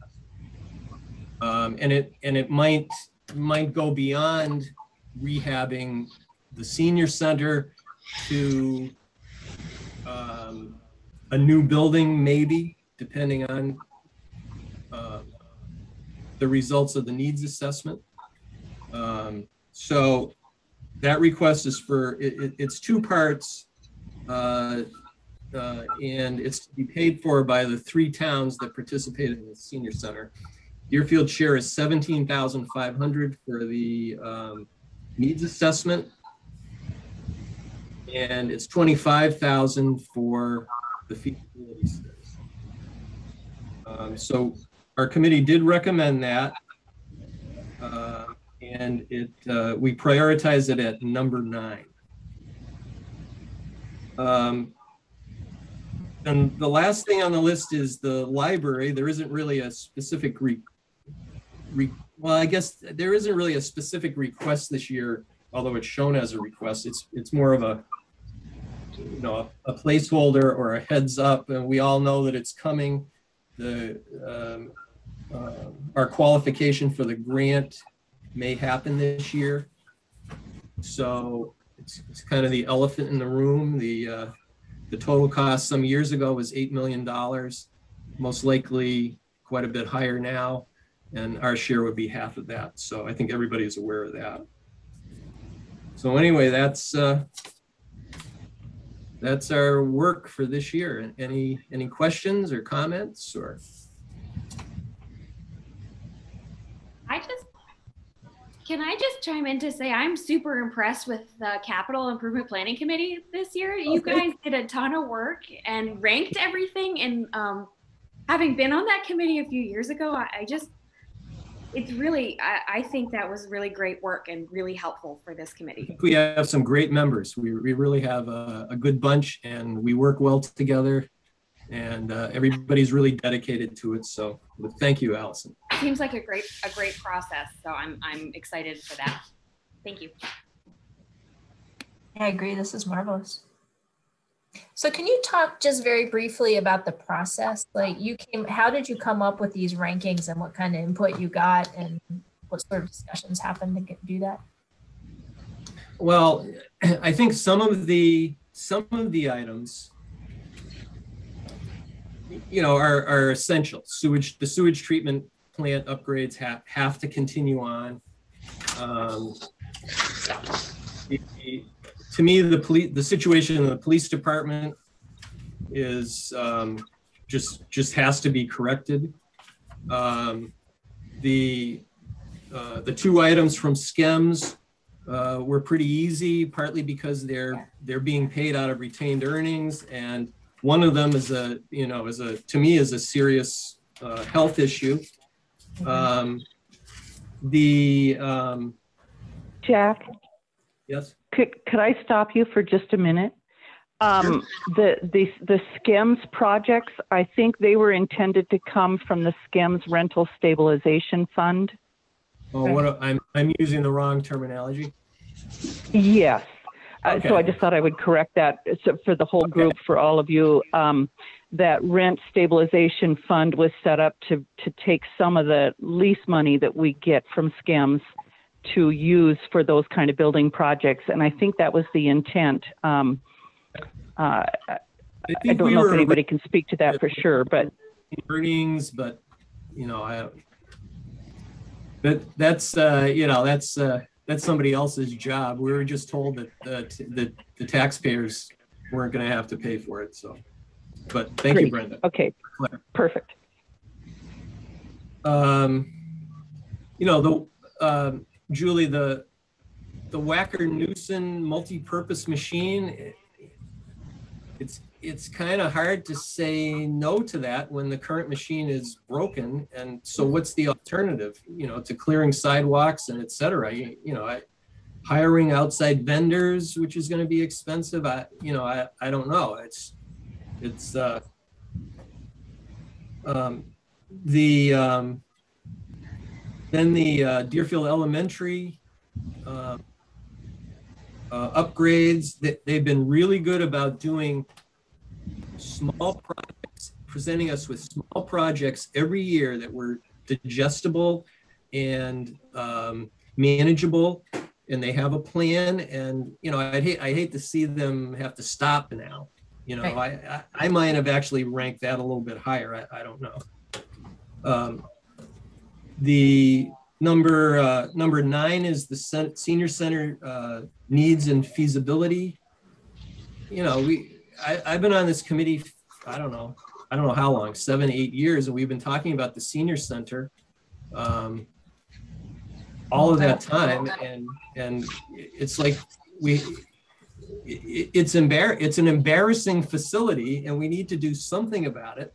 So this this is the start to get professional help to figure out um, what kind of a center we want and and where to create it. You know, so um, you know then then as we go down the list from there, um, the municipal offices. Um, you know, there's things that need to be done, but um, the um, the building inspector permitting I- think maybe maybe could have moved up a notch because that that would streamline the building inspection department and make it easier for contractors to get um, uh, building permits. You know, then as then as we go down, uh, down farther, you know, the, the, the, the website conversion is maybe an, op- an optional thing. The file server, I- I'm not, I'm not quite sure how important that is. Uh, I, I wish Casey was here that she could speak to that more. Great. Uh, You know, the sidewalks, definitely something needs to be done, but do they have to be done this year? Not necessarily. Um, the municipal office paving, again, it's a, it, it, it's a, uh, it's a proposal that makes sense. But it's been like that for a hundred years, so, you know, it- it's something that could, you know, be pushed off into the 100 more. future. Yeah, yeah. The capital stabilization fund, that's, you know, that's really, uh, I think our plan was to try to build it to a million dollars and then stop. And, and uh, Jeff, remind me, what, what are we up to now? 850? Is that right? Right, we're, we're, we're right around eight fifty, Jack. So if, so we're close. If that didn't happen this year, it's, that's not, that's not the end of the world. Um, The uh, building inspection archiving, well, they've been, you know, the, the town office employees have been going through the files for a hundred years and they, they could continue to do so. Obviously, it'd be a lot faster and easier and more efficient if they had a, a digital copy of every building permit, but, but again, that could be. And then the frontier requests, well, that's, you know, that's a, to me, that's, a- you know, that's like a three-town decision that, that, you know, because of our bylaws, we got involved in. We had a discussion about whether we should be discussing those items at all, but, um, so I, I don't know if that answered your question, eh, you know, I guess. It kind of did. What what I was actually asking more was like process just to inform us all what the process was. And it sounds like you had all these people come in and defend their projects to you, and then you as a committee discussed through and set the priorities. I think you did a great job of going through and doing that. Um, So, you know, and in some cases, we would, uh, like Jeff went through the uh, police department with Chief Paciorek and, and uh, looked things over. And we went over and we looked at the parking lot and the proposals and we had a, uh, a, a pretty good plan of, of what was going to be done. Um, So, I think, Jack, can I jump in for a second? I think this was an ongoing process that the committee has built for, for the last couple of years as far as how we approach all the requests and that. So we, we went through all the requests. We decided as a group that we go through all the requests and then we would uh, weigh them and vote them uh, on one given night instead of trying to vote individually one night and another. And once we voted and weeded through to see what we really needed to address for uh, FY22, then uh, then we went back and we had already predetermined that because of the number of them, and we kind of did this last year, but we didn't give them a ranking per se, but we tried to go through and prioritize uh, the needs. And so this year, with everything, and we knew these numbers were getting pretty big as far as a capital improvement plan, there was, as Jack referred, there were some things that just jumped out that you just needed to, you needed to do. They they weren't wants, they were needs, and we had to address those. So I think what the committee decided to do is just uh, decided to apply some good uh, Yankee common sense to this whole process, and we went down through and ranked them on priority and as far as needs. Some of them were more or less a wash, uh, and some of them, you know, you had to you had to think about and go through and rank them the best you could. Uh, there's a couple of things like with uh, with the wastewater treatment plant. You know, who wants to spend almost six million dollars? But it's a need. I mean, we don't have a choice as a town. We have to do that. The twenty-six thousand for the roadside mower, that was a no-brainer because that's a wash because that's reimbursed for EverSource. The, the SCEMS, uh, you know, that's that's from the and that Brenda, you are correct. That was from uh, the rental fund that we receive uh, for the building. So that indirectly, I mean, it is a cost to the taxpayer, but it's not going to hit the budget. That's already that's already there in the fund, and uh, so you just go down through and figure out what's needed. As Jack said, one hundred and five thousand dollars for a, a sidewalk, you know, plow and Wow. sweep. You know, that's a that's a big ticket item, but it's a it's a need. There's there's no question about it. We can't we can't get around it. And so what we did was on the on the beginning of the list, we went strictly to the needs where basically you didn't have any choice.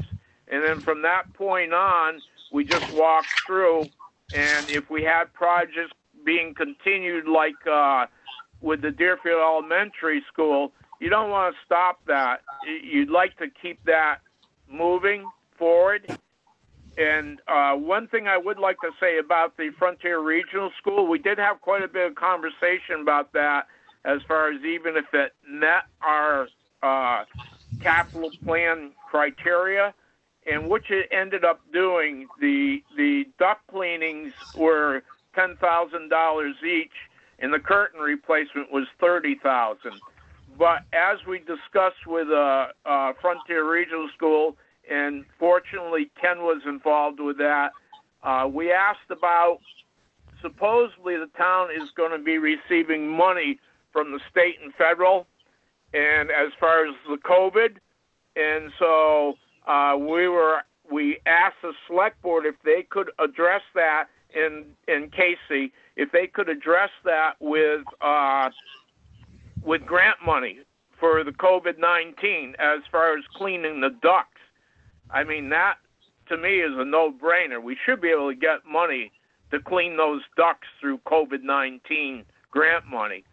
And then uh, the other thirty thousand, we did talk about uh, the school with their, uh, yeah. Now think now now I forget it. Uh, their uh, E and D money, and if they could fund that curtain with the E and D money, that is going to be looked at. But until that happens, we don't know. But we felt that we should probably vote it and that's why it's ranked, I believe, 18. Right. Can I ask a question? Uh, We've got, you're showing nearly $6 million for wastewater treatment plant upgrades. What have we voted so far? What's the town voted so far? 19. Well, they, So this money has already been voted by the town. well, the town Yeah. voted nine. Well, isn't it, isn't it a little confusing because the town voted 19 to spend, to borrow $19 million? Right. And this is for the expenditure. But this is for the, ex- this is for the actual expenditure. Do we have a choice? So, No. No, but And and we're not going to actually vote this at a town meeting. no, because this has already been voted. That's correct. Correct. So I guess, the- you know, I'm, I'm basically asking, do we really need to have this on there? But as part of the project plan for That's a 22? good- good question. I don't, I don't know if I can answer that. I mean, No, I, I, I was, I was, you know, trying to basically put everyone on the spot, not just you, Jack. I'm not sure.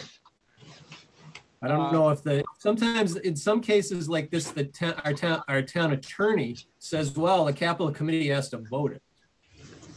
You know, the, or it wasn't, it it wasn't voted properly, or it wasn't voted adequately, or whatever, so.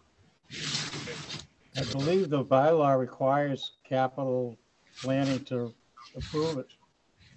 And, and I believe bond not- it's not- counsel, bond counsel required it to be on the capital plan in order for us to get the USDA grant and, and loan. Right.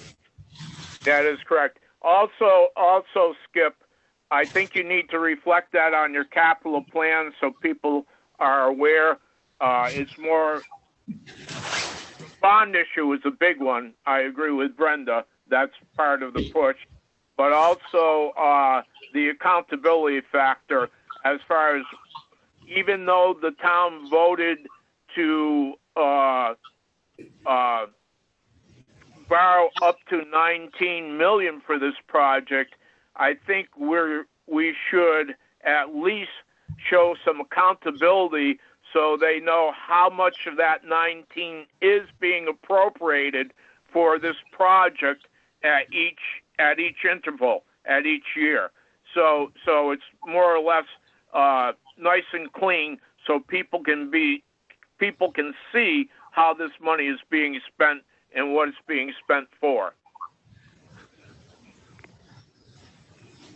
And Brenda, correct me if I'm wrong, but uh, that dollar amount is what the bids came in for, and that's what our expected expenditure is. Uh, um, I, I don't know that the, ex- that, that, that the bids, we don't know what the bids are in total at this point. We know that USDA has approved us to spend um, 11,423,000. And uh, DPC has done uh, a timeline of how much we were going to spend each of those years to come to that 11 million. So this 5,724,000 is what they, what they were expecting that we would be spending in fiscal 22.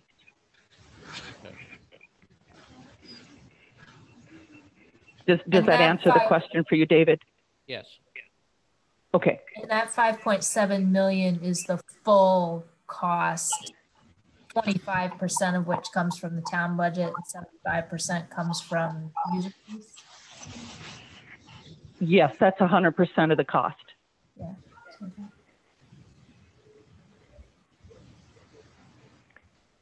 even after that dollar amount there, as you can see, uh, items two through 18 add up to a pretty hefty chunk of money. And that's part of the reason why they were ranked also uh, in order the best we could, because obviously we're going to have to work with the finance committee and the select board to see what we can afford and what we can't afford. And with with a ranking, uh, you know, we we might be able to afford all these, uh, depending on what we have for state and federal assistance here because of the COVID nineteen situation. But we may find out that we're coming up short, so we may not be able to address some of these ranked items this year. And we won't know that until we get done with uh, the budget, you know, with the finance committee. Well, and also I think it's important to note that our, that our committee doesn't, we just make a recommendation of the requests and the, the bylaws say we're supposed to consider the financial health of the town and which is always kind of a moving target until the budget is finalized and, um, you know, so I, think some of us might want to, may, might want to put that more into the mix if we had information. And, um, but, you know, we, we, we just don't, and it, and maybe, it may be impossible. That's the, that's the job of the finance committee and the, and the select board. So, you know, some of us might feel that this is, that this, this large number of requests is, was really too much for one year. Uh, But it's not really up to us to um, decide if the case or not. I'd, I'd just like to add, Jack, that the, uh, right now, we don't have a definite dollar amount from the latest COVID. And from what I understand, the Frontier Regional and the police station expenditures for HVAC and ductwork probably would be covered by that. Mhm. Sure. So that, so that's a, that's a good point. There's a perfect example of a, of a question mark is that, uh, you know, is the money coming from COVID relief funds or not? Nobody knows. So, We know it's coming, we just don't know how much. right. Right. And the, the problem that the capital improvement committee has is that we have to complete our plan almost two months ahead of what the finance committee and the select board have to complete their plans. So it puts the capital improvement planning committee at a little bit of a disadvantage. So as Jack said, it's kind of like trying to hit a moving target without having all all the numbers, which makes it very difficult. So the best we can do is basically what you're seeing here uh, for a plan and having it ranked as far as requests. And I personally feel that uh, you folks on the capital improvement have done an excellent job in presenting this. to the Thank town. you. Thank you, appreciate it. Has his hand up. Go ahead, Skip.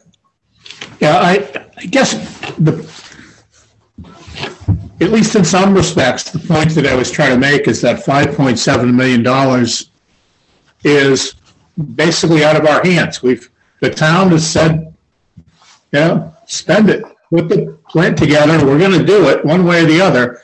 If it isn't five point seven, it's four point eight or it's six point two, you know, it's really, uh, and I guess there are bids out on some of this stuff with some of them coming back in this week. Right. That, So- is that true, Linda? So that, that, that should probably be in some separate category and not Yeah, totaled along with all the other requests because it's, as you say, it's, the, the, the- the money's already been uh, borrowed. The money's, money, we've committed to spending the money, so Mhm. it's, yeah, I agree. And, and, and, you know, so that while we're talking about five point seven million, we're, you know, we're not talking about the roadside mower. I mean, that we're gonna get anyways. But what I'm saying is, it's the smaller items that we really, at this point in time, need to, you know, to, to, and, and you guys have done a pretty good job of prioritizing. Uh, So basically, what's your article gonna look like? That article, it's the capital improvement article.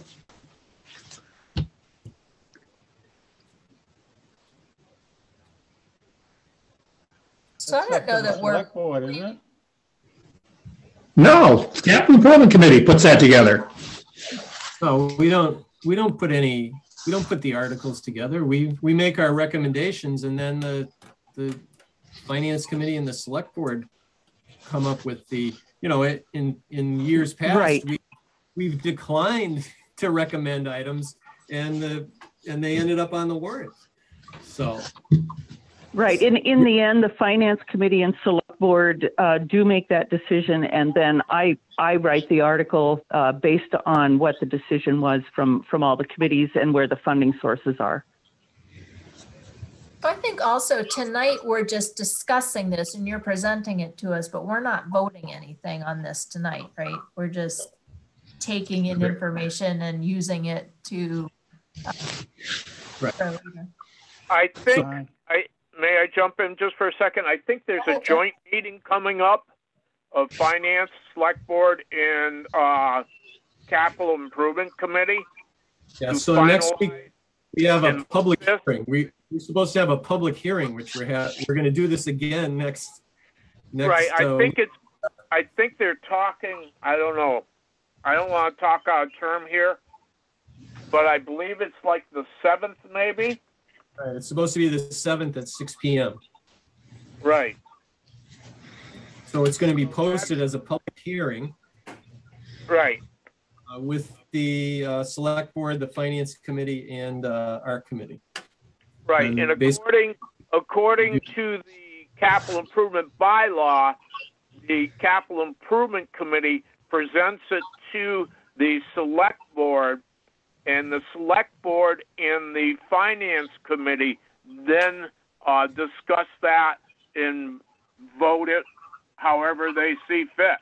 Because as Jack referred to before, remember, we're only doing recommendations here.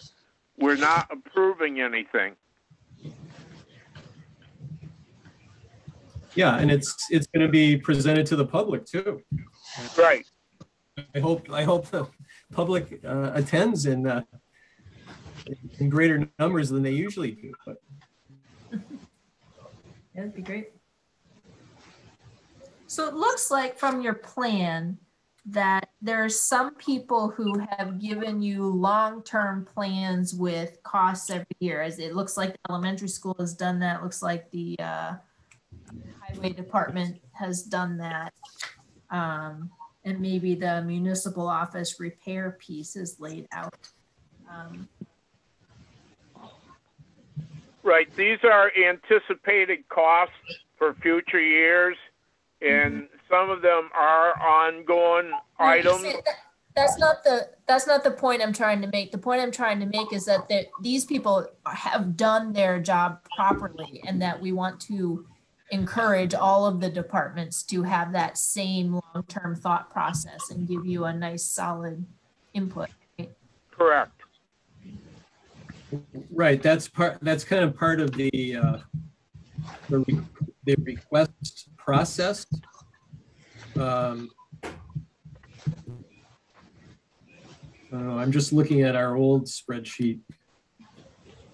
The other question I have is related. The capital stabilization fund, is there a philosophy on when to use it? Well, that's a, that's a good question. Um, I, I think the, the purpose of it, and, and Jeff, uh, you disagree with me if you want, the purpose of it is to, is to have a fund for like emergency capital projects or unan- unanticipated capital projects that uh, might put a particular burden on the town. Um, That was not, that was not the intent that, uh, when we brought this to the floor four or five years ago. Okay, so what, um, I'd be interested in hearing what, what it, what it was. Re- It was, it was, it was my understanding that once we built this fund up, uh, that this would be the fund that would be used to withdraw from on an annual basis for the capital improvement projects, not, not the five and a half million dollars for the wastewater treatment plant. But the dollars, the dollars that we take out every year to, to replace a pickup truck or a car or, you know, file server. And, and then we would put back into the fund a constant amount annually so that we could more or less depend on saying, look, we're going to put 200, $250,000 into the capital improvement project fund. And if we take out 350,000 this year, uh, or 100,000 this year, whatever it is, it's not skewing the budget, which is typically what happens with capital improvement items. If you look at an apartment budget, it goes up 2%, 3% every year, more or less. The, the capital improvement budget is all over the place for good reason, and not for, you know, if you, if you need to replace a piece of equipment, and that piece of equipment costs a hundred thousand bucks, uh, that'll take up, you know, and uh, half of the two hundred thousand that you're putting in. Am I, am I getting, being clear, am I not making sense on this? I think that's Percent. clear, Skip it. I'm just gonna summarize, see if I've got it right, but the, the idea is that the, the capital stabilization fund is what funds all of these projects, which will fluctuate in cost year to year. We expect that, and then we would contribute annually a steady amount, which may need to increase with inflation or something like that, but it would be a predictable, steady amount. So that even though the fund may fluctuate with the expenses over time, we're able to cover all those costs in a predictable way. I should have let you explain it before. I needed I needed to hear it from you. So May when, I also jump in here a second? total sense, but so Yeah. when and how does that process start? Who, who's, who gets it going? We've got it going by setting up the, by setting up the fund, and we're not far away from that. The, the number that was thrown out was a million dollars in the stabilization fund. And we're, we're close to that. We're not there yet, but we're close. It will take So we could theoretically use some of it this year and then replenish it? I, I would, I mean, if you wanted, if we were, Brenda, how much, how much is in that fund at this point in time offhand? Uh, I think Jeff brought it up earlier. Was it 835,000? Yeah, it was around around eight hundred and fifty thousand, I think. Eight So hundred if you- thirty-five, eight hundred and fifty thousand. Let me let me just jump in here for a second, though. If we all remember correctly, four or five years ago, the the, the capital supposedly the capital stabilization fund basically existed, but it was running zeros. It was running zeros for several years. And what was happening is we if we couldn't afford capital projects out of free cash, then they just got ignored. And that's part of the problem that we're running into now with some of our town buildings that we own.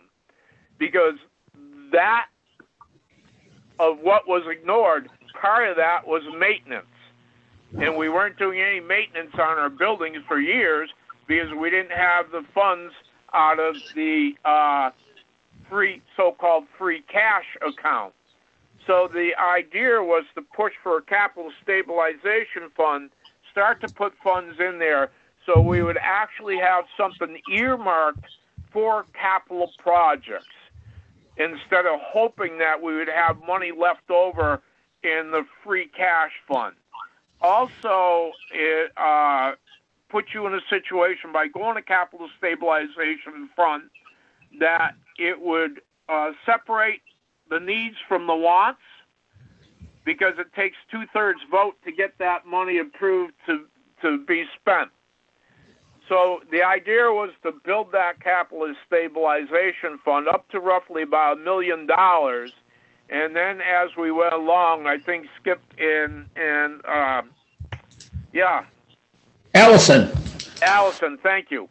Allison explained it quite well as far as how we should address that, and uh, and I think I think that's important to keep in mind because uh, you know when can you spend it? Well, we may find out we may have to address it this year if we don't have free cash and there's a need on some of these first you know six, seven, eight, nine items. We we may have to tap into the capital stabilization fund to try to address some of those immediate needs. And if we can handle it within the budget, if we, as David mentioned before, we don't know how much uh, federal or state money we may have coming back, that would be nice.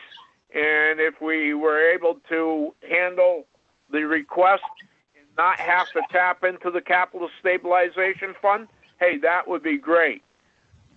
And be able to handle it with uh, free cash, fine. But we might not be able to do that. So I, I myself personally, I'm happy that we have a capital stabilization fund. I think it's very important, and I think it's important to maintain that for for future issues coming down the road. Because if you take a look at that, uh, those plans, some of those numbers are pretty big that we have coming down the road here over the next four or five years, uh, with whether they be wants or needs from the towns. I mean, you you hear several people talking about a whole lot of different ideas, and the money's going to come from someplace. So that's that's all I have at the moment. Jim. Go ahead, Jim. Um, I, I do just want to point out that unfortunately, it seems like the stabilization fund is at kind of an inconvenient number right now because it's not big enough to pay for sewage treatment plant or a new library, but it's it's a, a just maintaining it at its current level is more or less equivalent to all of the other minor capital improvement expenditures. So it seems like we're building up a fund and then, but we're also paying for capital expenditures that the fund isn't big enough to pay for. So,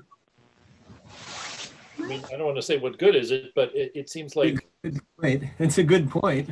Uh, I, I understand what you're saying, Jim, but remember we started off we started off with zero about four or five years ago, and it's going to take a while to build this fund up.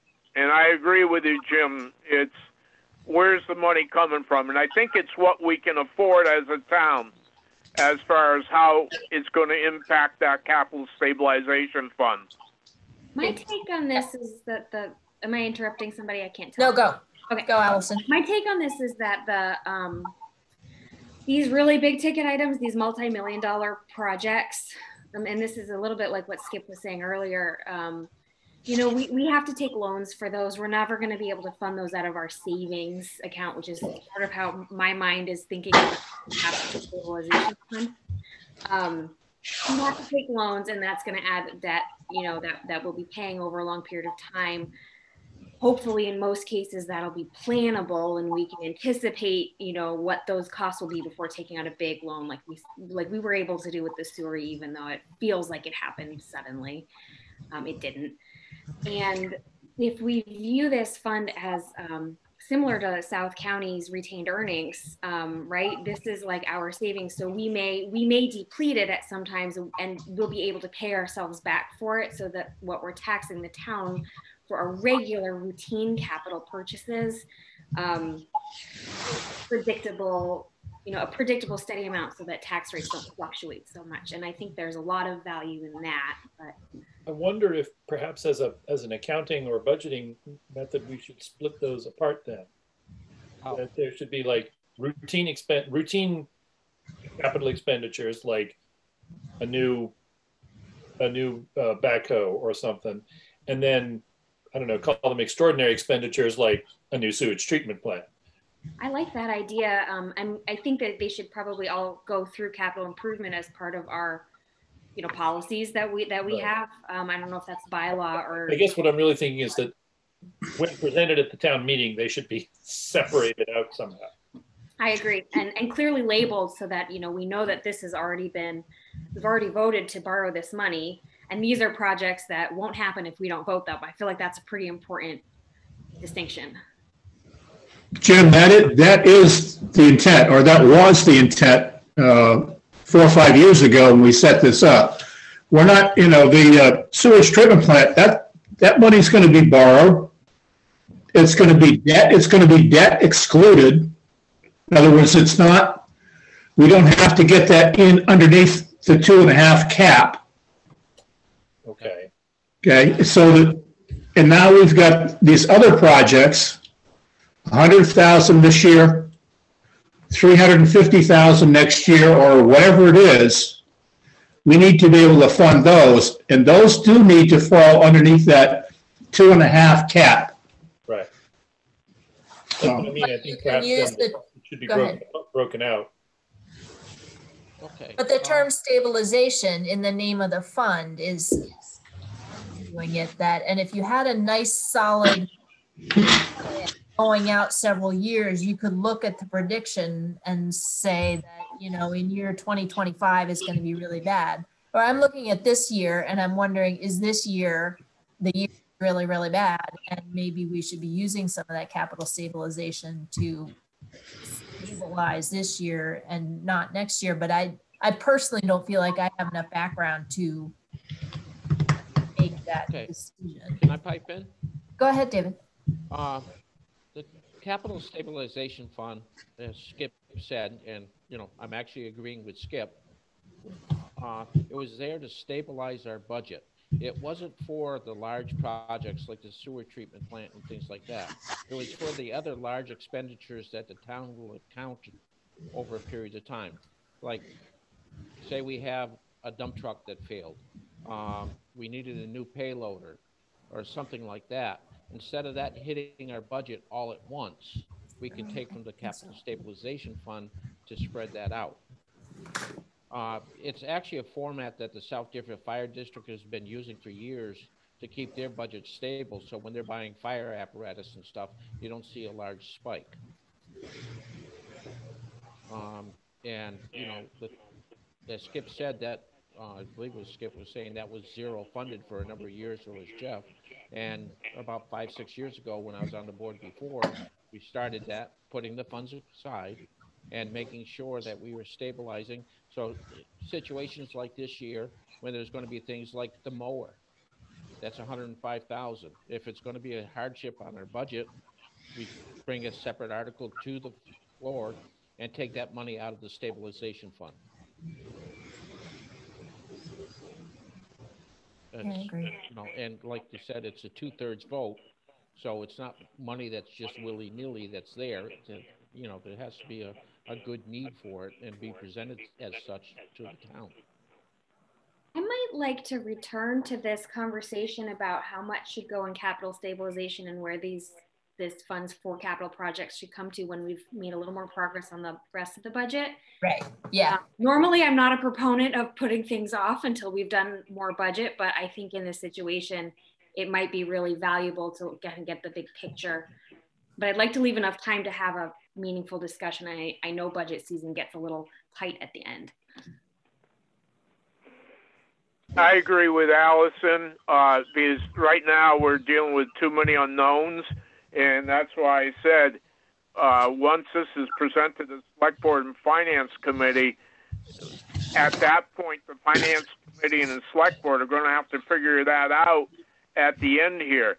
Uh, we're, we're, the capital committee is two months premature as far as trying to determine this.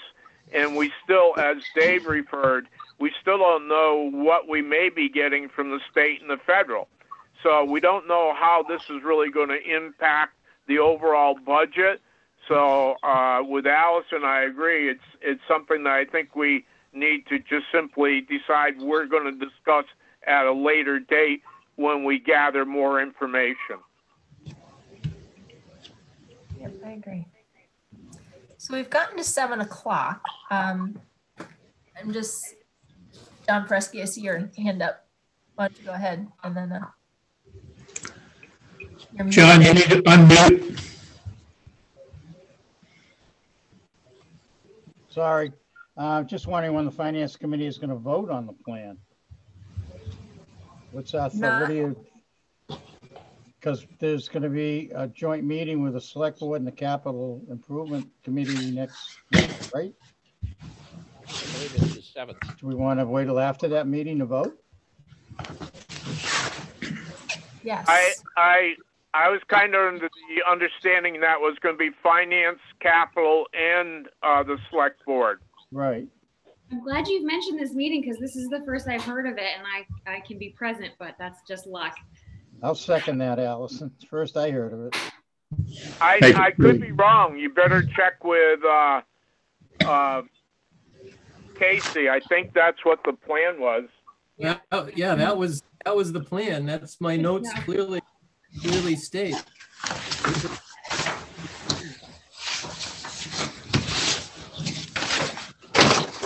We have a finance committee meeting next Tuesday, the sixth at five o'clock. That's our regular finance committee meeting. And then this other meeting will be on the seventh at six o'clock. So the next night. Um, regarding voting on the capital plan, um, my opinion is that we should wait until we have all of the budgets in um, and Brenda comes up with a recommendation to us for, um,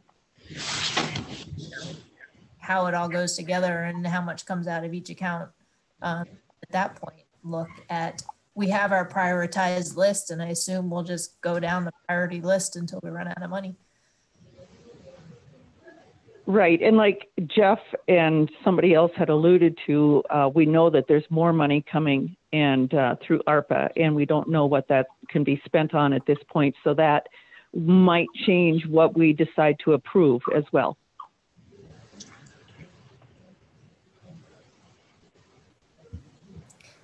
While we have Jack Davy with us, are there any other questions anybody has on the from the um, Capital Improvement Committee?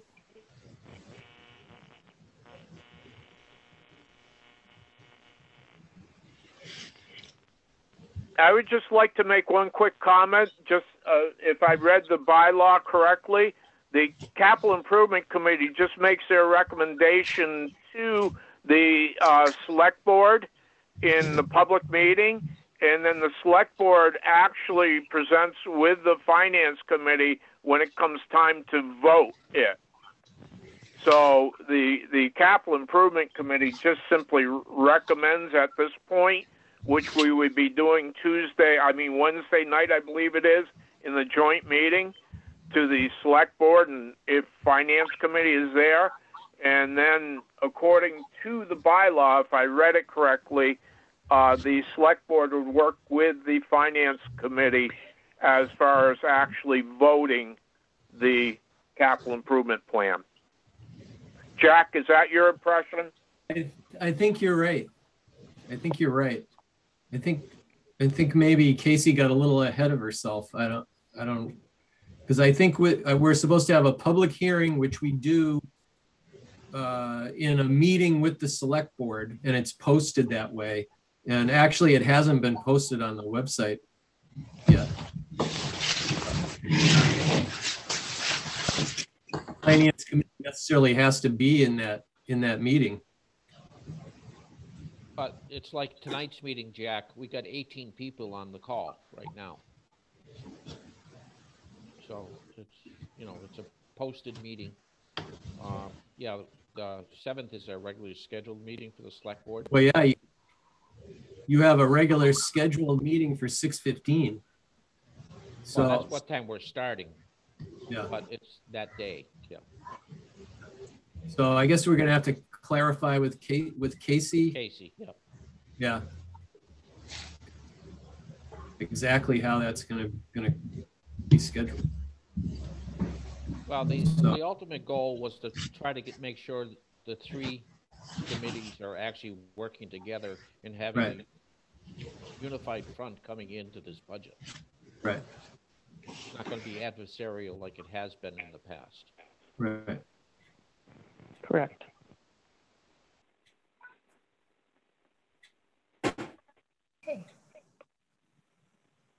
So I'm just gonna follow up with Casey just to clarify exactly when, when I should post our, our meeting for.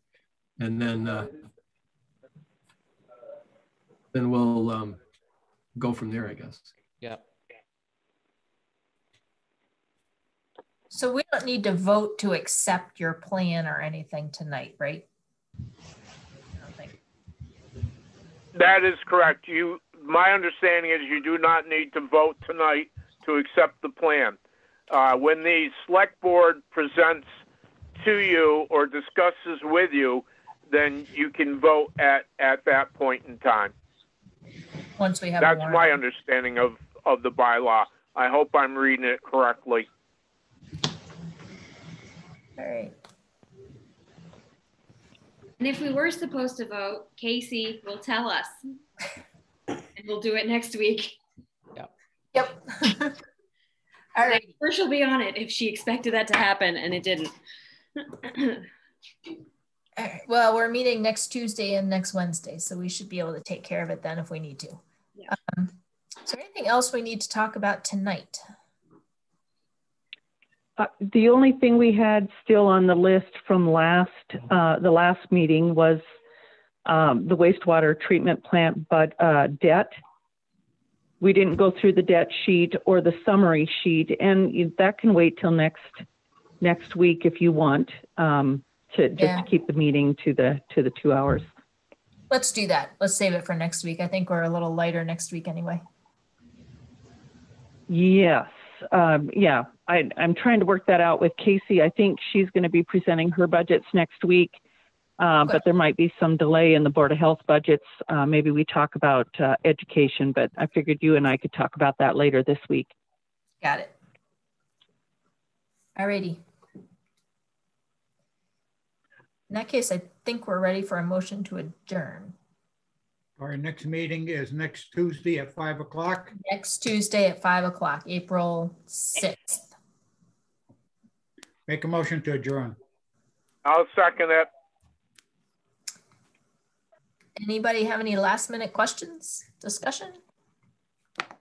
Doesn't sound like it. Jim Cambias, Aye. John Presky, Aye. Skip Olmstead. Aye. Tom Turek, Aye. Jeff Upton, Aye. Julie Chalfant, Aye, Allison Vandervelden. Aye. Alrighty, seven zero, we're unanimous.